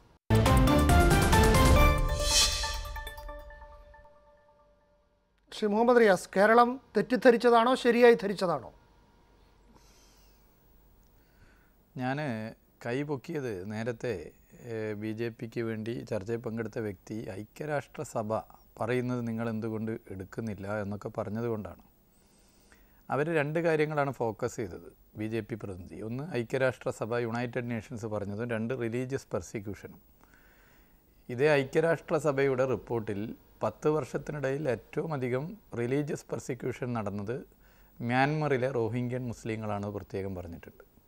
ഇന്ത്യയിൽ വലിയൊരു നമ്പർ അഭയാർത്ഥികൾ അവരാണ്. ഇന്ത്യയുടെ ഭാഗമായിരുന്നല്ലോ മ്യാൻമർ ബർമ്മ. അപ്പോൾ അതൊന്നുമല്ല നിങ്ങളുടെ മാനദണ്ഡം ക്രൈറ്റീരിയ എന്ന് എല്ലാവർക്കും അറിയാം. പിതൃഭൂമിയും പുണ്യഭൂമിയും നേരത്തെ തന്നെ എന്താണ് ഏതാണെന്നൊക്കെ നിങ്ങൾ പറഞ്ഞാണ്. നമ്മൾ ഒരുപാട് ചർച്ച ചെയ്തുകൊണ്ട് ഞാൻ അതിലേക്ക് കടക്കുന്നില്ല. ഇവിടെ അടിസ്ഥാനപരമായ പ്രശ്നം ഫാദർ ഇവിടെ സൂചിപ്പിച്ചതാണ്. അപരനോടുള്ള പരിഗണനയാണ് യഥാർത്ഥത്തിൽ ജനാധിപത്യം. നമുക്കറിയാം. വ്യത്യസ്തമായ അഭിപ്രായങ്ങളുണ്ട്. വ്യത്യസ്തതകളെ നമ്മൾ വിരോധങ്ങളായി കാണുന്നു. വ്യത്യസ്തതകളെ വിരോധങ്ങളായി കാണുന്നവർ രാജ്യം ഭരിക്കുകയാണ്. അപരവൽക്കരണത്തിന്റെ പര്യായമാണ് നരേന്ദ്രമോദിയും സിൽബന്ദികളും അവൻ ചെയ്യുന്നതെല്ലാം നമുക്കെതിരാണ് എന്ന് പ്രചരിപ്പിക്കുന്നവർ. യഥാർത്ഥത്തിൽ അപരന് പരിഗണന കൊടുക്കേണ്ട ജനാധിപത്യം അവർ അംഗീകരിക്കുന്നില്ല. ശ്രീനാരായണ ഗുരു തന്നെ പണ്ട് സൂചിപ്പിച്ചത് നമുക്കറിയാം. അവനവൻ ആത്മസുഖത്തിന് പരിഗണിക്കുന്നവ. അപരനു കൂടി സന്തോഷകരമാകുന്ന സുഖത്തിനായുള്ളവയായി മാറണം എന്ന് സൂചിപ്പിച്ചിട്ടുണ്ട്. അപ്പോൾ ഇവർ ചെയ്യുന്നത് എന്താ അപരന് അപരന്റെ ശബ്ദത്തിന് എതിരഭിപ്രായത്തോട് ജനാധിപത്യത്തോട് യോജിക്കുന്നില്ല. അതിന്റെ ഭാഗമാണ് ഇപ്പോൾ നമ്മൾ കണ്ടുകൊണ്ടിരിക്കുന്ന ഓരോ സംഭവ വികാസങ്ങളും. ഓരോന്നെടുത്ത് പരിശോധിച്ചാലും നമുക്ക് അത് വളരെ കൃത്യമായി മനസ്സിലാക്കാൻ വേണ്ടി സാധിക്കും. അവിടെ ബി ജെ പി പ്രതിനിധി പറഞ്ഞത് ശബരിമല സമയത്തുള്ള വനിതാ മതിലും തെരഞ്ഞെടുപ്പിന്റെ വോട്ടിന്റെ എണ്ണമൊക്കെയാണ് നിങ്ങൾ മനസ്സിലാക്കേണ്ടത് തെരഞ്ഞെടുപ്പ് എന്ന ഒരു അജണ്ട ഇപ്പോൾ ഞങ്ങൾ ആലോചിക്കാത്ത അജണ്ടയാണ്. തെരഞ്ഞെടുപ്പ് വരും പോകും. പക്ഷേ തെരഞ്ഞെടുപ്പ് തന്നെ ഉണ്ടാകുമോ ഇന്ത്യയിലെന്ന് തോന്നുന്ന രീതിയിലേക്കാണ് കാര്യങ്ങളുടെ പോക്ക് എന്ന് ഞങ്ങൾക്ക് വളരെ കൃത്യമായിട്ടറിയാം അപ്പോൾ ഇവിടെ ഉണ്ടാകുന്ന പ്രശ്നം എന്താണ്? ഇവിടെ ഉണ്ടാകുന്ന പ്രശ്നം ഇവിടെ നിങ്ങളുടെ അജണ്ടയാണ്. ഭരണഘടന ഉള്ള സമയത്തും ഭരണഘടന ഉണ്ടാകാൻ വേണ്ടി വർഷങ്ങളും ദിവസങ്ങളൊക്കെ എടുത്ത് ചൂടേറിയ ചർച്ച ഉയർന്ന കോൺസ്റ്റിറ്റ്യുവന്റ് അസംബ്ലിയിലെ വാദങ്ങൾ അന്ന് തള്ളിയിരുന്നു. അന്ന് തള്ളിയ വാദങ്ങൾ നിങ്ങൾ ഇന്ന് ലോകസഭയിൽ കേവല ഭൂരിപക്ഷം ഉപയോഗിച്ച് അംഗീകരിക്കുന്നു. ലോകസഭ സിന്ദാബാദ് എന്നാണ് ഇപ്പോൾ നിങ്ങൾ പറയുന്നത്. ലോകസഭ സിന്ദാബാദ് എന്ന് വിളിക്കുന്ന നിങ്ങളാണ് ലോകസഭയിൽ ആദ്യമായി ആക്രമണം നടത്തിയത്. ഓർക്കുന്നുണ്ടാകും. ആ ആക്രമണം ഒരു സംശയമില്ല പശുവിന്റെ പേരിലായിരുന്നു. പശുവിന്റെ പേരിൽ അന്ന് വസ്ത്രം ധരിക്കാതെ ചില സന്യാസികളാണ് ആദ്യമായി പാർലമെന്റ് ആക്രമണം നടത്തിയത്. അന്ന് ഓൾ ഇന്ത്യ റേഡിയോയുടെ ഡൽഹിയിലെ ഓഫീസും അടിച്ചു തകർത്തിരുന്നു. അപ്പോൾ പാർലമെന്റിൽ ആദ്യമായി അക്രമം നടത്തിയ നിങ്ങൾ ഇപ്പോൾ പാർലമെന്റിന്റെ വക്താക്കളാകുന്നു ആ ദിനം കൂടി ഞാൻ ഓർക്കുകയാണ്. ആയിരത്തി തൊള്ളായിരത്തി അറുപത്താറ് നവംബർ മാസം ആറിനാണ് പാർലമെന്റിൽ നിങ്ങൾ അക്രമം നടത്തിയത്. ഇപ്പോൾ നിങ്ങൾ പാർലമെന്റ് സിന്ദാബാദ് ലോകസഭ സിന്ദാബാദ് എന്ന് വിളിക്കുന്നു. പിന്നെ നിങ്ങൾ മുദ്രാവാക്യം വിളിക്കുന്നത് ഊണിലും ഉറക്കത്തിലും സുപ്രീം കോടതി സിന്ദാബാദ് എന്നാണ്. സുപ്രീം കോടതി സിന്ദാബാദ് എന്ന മുദ്രാവാക്യം വിളിച്ചവരായി നിങ്ങൾ മാറുന്നു. യഥാർത്ഥത്തിൽ നാത്തൂറാം ഗോഡ്സയെ തൂക്കിലേറ്റുന്ന ഘട്ടത്തിൽ കോടതിയെക്കുറിച്ച് നിങ്ങളെന്താണ് പറഞ്ഞതെന്ന് ഈ നാടിനറിയാം. അപ്പോൾ നിങ്ങൾ നേരത്തെ പാർലമെന്റിനെക്കുറിച്ചും ജുഡീഷ്യറിയെക്കുറിച്ചും ജനാധിപത്യം എന്തിനു വേണ്ടി അതിന്റെ ആവശ്യമില്ല ഫെഡറലിസം വിഘടനവാദത്തിന് കാരണമാകുമെന്നൊക്കെ നിങ്ങളുടെ വിചാരധാരയിൽ എഴുതിയതാണ്. Shrimati advocate O M Shaleena ഒരു കാര്യം ഇവിടെ വ്യക്തമാക്കേണ്ടതുണ്ട് അത് മറ്റൊന്നുമല്ല. പൗരത്വത്തെക്കുറിച്ച് പുണ്യഭൂമിയും അതുപോലെ തന്നെ പിതൃഭൂമിയുമായി അതിനെ ചൂണ്ടിക്കാട്ടിയ നിങ്ങളുടെ പ്രിയപ്പെട്ട നേതാവിന്റെ അഭിപ്രായം ആർ എസ് എസ് പിന്തുടരുന്നതല്ലേ? ആ അഭിപ്രായത്തിന്റെ ഭാഗമല്ല എന്ന് നിങ്ങൾ ഇന്ന് വരെ പറഞ്ഞോ? നിങ്ങളുടെ ഏതെങ്കിലും ഒരു ദേശീയ നേതാവ് അതിനെ തള്ളിക്കളഞ്ഞോ? ഒരു ദേശീയ നേതാവും തള്ളിക്കടഞ്ഞിട്ടില്ല അവിടെയാണ് ഫാദർ പറഞ്ഞ കാര്യങ്ങൾക്ക് പ്രസക്തം. ഇന്ന് മുസൽമാനാണെങ്കിൽ നാളെ ക്രൈസ്തവനാണ്. ജനാധിപത്യവാദിയാണ്. ദളിതനാണ്. ഇങ്ങനെ തിങ്കളാഴ്ച മുസൽമാനാണെങ്കിൽ ചൊവ്വാഴ്ച ക്രൈസ്തവനും ബുധനാഴ്ച ജനാധിപത്യവാദിയും ഇത് അനുഭവിക്കും. ഇത് ബോധ്യമാകുന്ന മുഴുവൻ മലയാളികളും ഇന്ന് തെരുവിലിറങ്ങിയിട്ടുണ്ട്. ഇത് ബോധ്യമായിട്ടും മറ്റു പല കാരണത്താൽ ഇറങ്ങാത്തവരുടെ എണ്ണം ഇന്ന് ഇറങ്ങിയവരുടെ അടുത്തു തന്നെയുണ്ട്. അവർ ഞങ്ങൾക്കൊപ്പമാണ് മനസ്സുകൊണ്ട്. മനസ്സുകൊണ്ട് ഞങ്ങൾക്കൊപ്പമുള്ളവർ പല കാരണത്താൽ ഇറങ്ങാത്തവർ നാളെ തെരുവിലിറങ്ങും. അങ്ങനെയുള്ളൊരു കാലമാണ് വരുന്നത്. മാതൃകയാണ് അങ്ങനെ ഒരു കാലം ഇവർ സ്വപ്നം കാണുന്നു. അതല്ലാതെ നിങ്ങൾ ആക്ഷേപിക്കുന്നത് പോലെ വോട്ട് ബാങ്ക് ലക്ഷ്യമാക്കിയുള്ള ഒരു നീക്കവുമല്ല പിണറായി വിജയന്റെ തിരിച്ചുവരവിനുള്ള ഒരു ശ്രമവുമല്ല. ആ അർത്ഥത്തിൽ അതിനെ ഉൾക്കൊള്ളുന്നുണ്ടോ? അക്ഷരാർത്ഥത്തിൽ ജനവിരുദ്ധമായ കേരള സർക്കാരിന് വീണ് കിട്ടിയ ഒരു അവസരം തന്നെയാണ് പൗരത്വ ബില്ലെന്ന് പറയാതിരിക്കാൻ നിവർത്തിയില്ല പിന്നെ നേരത്തെ ശ്രീ റിയാസ് പറയുകയുണ്ടായി കോൺഗ്രസിന്റെ നേതാക്കന്മാരൊക്കെ ഡൽഹിയിൽ കെ പി സി പുനഃസംഘടനയ്ക്ക് വേണ്ടി മാത്രം പോയി സമരം ചെയ്യുന്നില്ല. ശ്രീ റിയാസ് ഞാൻ അടക്കമുള്ളവർ ഇവിടെ വന്നിരിക്കുന്നത് എല്ലാ ദിവസവും പത്ത് ഇരുപത് ഇരുപത്തിരണ്ട് കിലോമീറ്റർ കത്തുന്ന വെയിലിൽ നടന്നതിന് ശേഷമായി പൗരത്വ ബില്ല് അടക്കമുള്ള പ്രശ്നങ്ങൾക്കെതിരെ അതിശക്തമായി പോരാടിക്കൊണ്ടായി. എഴുപത് വയസ്സ് കഴിഞ്ഞ കോൺഗ്രസിന്റെ പ്രസിഡന്റ് സോണിയാജിയും അതുപോലെ രാഹുൽ ഗാന്ധിയും മരം കോച്ചുന്ന തണുപ്പിൽ ഡൽഹിയിൽ മാത്രമല്ല ഇന്ത്യ മുഴുവൻ കോൺഗ്രസ് സമരത്തില. എം പിമാരായിക്കൊള്ളട്ടെ ഡി സി സി പ്രസിഡന്റ്മാരാകട്ടെ പാർട്ടിയുടെ ബൂത്ത് തലവരെയുള്ള പ്രവർത്തകർ എല്ലാ ദിവസവും സമരത്തില. ഒരു ദിവസത്തെ മഹാശൃംഖലയല്ല എല്ലാ ദിവസവും നിങ്ങൾ പറയുകയുണ്ടായി കോൺഗ്രസ് നേതാക്കൾ കുറച്ച് ദിവസം ഈ പൗരത്വ പ്രക്ഷോഭമൊക്കെ വിട്ട് ഈ പട്ടിക തയ്യാറാക്കുന്ന തിരക്കിലായിരുന്നു. അതൊരു സത്യമാണ്. ശ്രീമതി ബിന്ദുകൃഷ്ണ കാൽനട പ്രചാരണ യാത്രയിലായിരുന്നു ഞാൻ. സമ്മതിക്കുന്നു. അനിവേ അല്ല അത് അത് അനിവാര്യമാണല്ലോ. പാർട്ടി പുനഃസംഘടനയൊക്കെ ഇതിന്റെ ഒപ്പം നടന്നു പോകേണ്ടത് പക്ഷേ സമരത്തിന് ഒരു കുറവുമില്ല. ഈ സംസ്ഥാനത്ത് അടക്കം രാജ്യമെമ്പാടും അതിശൈത്യത്തെ വകവയ്ക്കാൻ സമരം ചെയ്യും. പിന്നെ ആർ എസ് എസിന് അനുകൂലമായിട്ട് കോൺഗ്രസ് ഇന്ന് ലജ്ജയില്ലല്ലോ പറയാൻ. ശ്രീ റിയാസ് ഇപ്പോൾ വാചാലനാകുന്നു. ബി ജെ പിക്കാർ ഇതിനെതിരായിട്ട് പറയുന്നത് ഞാൻ ഒരു കാര്യം പറയും. ഈ ചർച്ചയിൽ ഞാൻ പങ്കെടുക്കുന്നത് ആത്മാഭിമാനത്തോടെയാണ് ഇന്ന് ഇന്ത്യ ചർച്ച ചെയ്യുന്ന നമ്മൾ ഓരോരുത്തരും വേവലാതിപ്പെടുന്ന ഇന്ത്യൻ ഭരണഘടന നിർമ്മിച്ച പ്രസ്ഥാനത്തിന്റെ പിന്മുറക്കാരി എന്ന നിലയിൽ ആത്മാഭിമാനത്തോടു കൂടി പറയുന്നു. ആർ എസ് എസിനെ നിരോധിച്ചത് ഇന്ത്യൻ നാഷണൽ കോൺഗ്രസ് ആയിരത്തി തൊള്ളായിരത്തി നാൽപ്പത്തെട്ടിലും എഴുപത്തിയാറിലും ആർ എസ് എസുമായിട്ട് ഒരിക്കലും സന്ധി ചെയ്തിട്ടില്ല കോൺഗ്രസ്. കോൺഗ്രസിനെ സംബന്ധിച്ചിടത്തോളം ഒരു പക്ഷേ തെരഞ്ഞെടുപ്പ് രാഷ്ട്രീയത്തെ തെരഞ്ഞെടുപ്പ് തെരഞ്ഞെടുപ്പ് അല്ല ഒന്ന് ഒന്നും അത് പറയട്ടെ പറയട്ടെ. ഇന്ത്യയ്ക്ക് സ്വാതന്ത്ര്യം കിട്ടിയിട്ട് ഓഗസ്റ്റ് പതിനഞ്ച് രാജ്യം ആഘോഷിക്കും ആപത്ത് പതിനഞ്ച് എന്ന് പറഞ്ഞ കമ്മ്യൂണിസ്റ്റുകാർക്ക് എന്ത് അവകാശമാണ് ഇന്ത്യയുടെ ദേശീയ ധാരയെ കുറിച്ച് സംസാരിക്കുക റിയാസിന്റെ ഈ ഈ പ്രക്ഷോഭം വോട്ട് ബാങ്ക് രാഷ്ട്രീയത്തിന് വേണ്ടിയാണോ എന്നോടാണല്ലോ ഞാൻ പറയാം. ഞാൻ ജീവിക്കാനുള്ള അവകാശമാണ്. ഞാൻ ഇവിടെ സൂചിപ്പിക്കപ്പെട്ടതുപോലെ തന്നെ പക്ഷെ അങ്ങനെയാണെങ്കിൽ ഈ- മലബാറിനടക്കം ന്യൂനപക്ഷ രാഷ്ട്രീയത്തിൽ കോൺഗ്രസിന് ആശങ്ക ഉണ്ടാക്കുന്നതാണ് ഇന്നത്തെ മനുഷ്യ ശൃംഖല. ഞാൻ ആദ്യമേ സൂചിപ്പിച്ചല്ലോ ബിനു പൗരത്വ പ്രതിഷേധത്തിന്റെ പൗരത്വ പ്രതിഷേധത്തിന്റെ കാര്യത്തിൽ രാഷ്ട്രീയത്തിന് അതീതമായി സമരങ്ങൾ സംഘടിപ്പിക്കാൻ ഈ സ്വതന്ത്രമായി എല്ലാ സംഘടനകളും എല്ലാ സഭകളും എല്ലാ സമുദായ സംഘടനകളും ഒക്കെ സമരം സംഘടിപ്പിക്കുക. ആ സമരം എന്ന് പറയുന്നത് രാഷ്ട്രീയമായി നഷ്ടമോ ലാഭമോ എന്നുള്ളതല്ല. മറിച്ച് പൗരത്വ ആരുടെ അവ അത് ഔദാര്യമല്ല അത് അവകാശമാണ്. എന്നാൽ ആ ആ 30 സെക്കൻഡ് എടുത്തോളൂ ശ്രീ അവകാശത്തിന് 30 എടുക്കാം. ഇന്ത്യൻ നാഷണൽ കോൺഗ്രസ് പോരാട്ട ഭൂമിയിൽ ഒന്ന് ഒന്ന് ഞാൻ പറഞ്ഞുതരാം. കോൺഗ്രസിന്റെ പ്രക്ഷോഭത്തിന് ഞാൻ പരിഹസിക്കുന്നില്ല. കോൺഗ്രസ്സിന് അത് സാധിക്കും. ഇപ്പോൾ കെ പി സി സി പട്ടികയിൽ വന്ന ഭാരവാഹികൾ മാത്രം അണിനിരന്നാൽ കാസർഗോഡ് മുതൽ തിരുവനന്തപുരം വരെ ഒരു വലിയ ചങ്ങല തീർക്കാൻ നിങ്ങൾക്കാകും. ഒരു തർക്കമില്ല. അതിനുള്ള ആളുകൾ നിങ്ങൾക്കുണ്ട്. പക്ഷെ നിങ്ങൾ ഇറങ്ങാത്തതാണ് പ്രശ്നം. അത് ഞാൻ. പറയുമ്പോൾ ഞാൻ വീണ്ടും ഞാൻ വീണ്ടും ഞാനൊന്ന് പൂർത്തീകരിക്കട്ടെ. അത് അത് ഞാൻ പറഞ്ഞു തരാം. ഞാനൊന്ന് പറഞ്ഞു തരാം. അത് ഞാൻ പറഞ്ഞു തരാം. അല്ല, അത് നിങ്ങളിവിടെ CPM ന്റെ പറഞ്ഞല്ലോ സംസ്ഥാന കാര്യങ്ങൾ. കമ്മിറ്റി 85 പേരുണ്ട്. ഞാൻ ഒരിക്കലും 85 നിങ്ങളുടെ സംസ്ഥാന കമ്മിറ്റിയില്ല, നിങ്ങൾ പ്രക്ഷോഭം വേണ്ട നിങ്ങൾ പ്രക്ഷോഭം ചെയ്യരുത്. അല്ലെങ്കിൽ നിങ്ങൾ പ്രക്ഷോഭമായി പോകരുത് എന്നല്ല ഞാൻ പറഞ്ഞത്. നിങ്ങൾ കുറെ കൂടി കാര്യഗൗരവത്തോടു കൂടി ഇടപെടണം. നിങ്ങൾ ഭരിക്കുന്ന പല സംസ്ഥാനങ്ങളുമുണ്ട്. നിങ്ങൾക്ക് സ്വാധീനമുള്ള സംസ്ഥാനങ്ങളുണ്ട്. ഇടതുപക്ഷത്തേക്കാൾ സ്വാധീനം കോൺഗ്രസിനാണ് ഇന്ത്യയിൽ. ഒരു സംശയമില്ല. ആ സംസ്ഥാനങ്ങളിൽ ഇതുപോലെ ശൃംഖലകൾ തീർക്കണം. കേരളത്തിലെ നിയമസഭ പ്രമേയം അവതരിപ്പിച്ചപ്പോൾ നിങ്ങളുടെ K P C C president ആ പ്രമേയം പാടില്ലായിരുന്നു. നിങ്ങളുടെ ഗവൺമെന്റ് ഞാനൊന്ന് പൂർത്തീകരിക്കട്ടെ? ഞാനൊന്ന് പൂർത്തീകരിക്കട്ടെ ശ്രീ? ഞാനൊന്ന് പൂർത്തീകരിക്കട്ടെ ശ്രീ? ബിന്ദു ശ്രീമതി ബിന്ദു കൃഷ്ണ. അപ്പോ നിങ്ങളുടെ നിങ്ങളുടെ K P C C president നിയമസഭ പ്രമേയം അവതരിപ്പിച്ചതിനെ തള്ളി പറഞ്ഞപ്പോഴാണ് അമരീന്ദർ സിംഗ് പഞ്ചാബിൽ നിയമസഭാ പ്രമേയം അവതരിപ്പിച്ചത്. പക്ഷേ ഇവിടെ നിങ്ങളുടെ K P C C president അത് പ്രിയപ്പെട്ട പ്രതിപക്ഷ നേതാവ് പറഞ്ഞിട്ടല്ലേ? ആര്യാടൻ വിജയൻ പറഞ്ഞിട്ടല്ലല്ലോ. പറഞ്ഞിട്ടുള്ള കാര്യം നമുക്കറിയാം. നിങ്ങൾ ഭയപ്പെടല്ലേ? ഞാൻ പറയുന്നത് തടസ്സപ്പെടുത്തി എന്തായാലും ഭയപ്പെടല്ലേ? ഞാൻ റിയാസ്, പറയട്ടെ. ആർ എസ് എസിനെ പ്രക്ഷോഭം പല രീതിയിൽ ഉയർന്നു വരും. പ്രക്ഷോഭത്തിലെ ഭിന്നതയും തീർച്ചയായും ഇന്നത്തെ മനുഷ്യ ശൃംഖലയിലെ പങ്കാളിത്തം യു ഡി എഫിനെ ആശങ്കപ്പെടുത്തുന്നതാണ്. നേരത്തെ ചർച്ചയിൽ പങ്കെടുത്ത പലരും സൂചിപ്പിച്ചതുപോലെ അത് കേരളത്തിന്റെ പൊതുവായ പ്രക്ഷോഭമായി രൂപപ്പെടുന്നുവെങ്കിൽ അതിന് ഈ കേവലമായ രാഷ്ട്രീയ അർത്ഥങ്ങൾ മാത്രം നൽകേണ്ടതുമല്ല. വളരെ നന്ദി എല്ലാവർക്കും. ന്യൂസ് അവസാനിക്കുന്നു. ഇനി നേരിട്ട്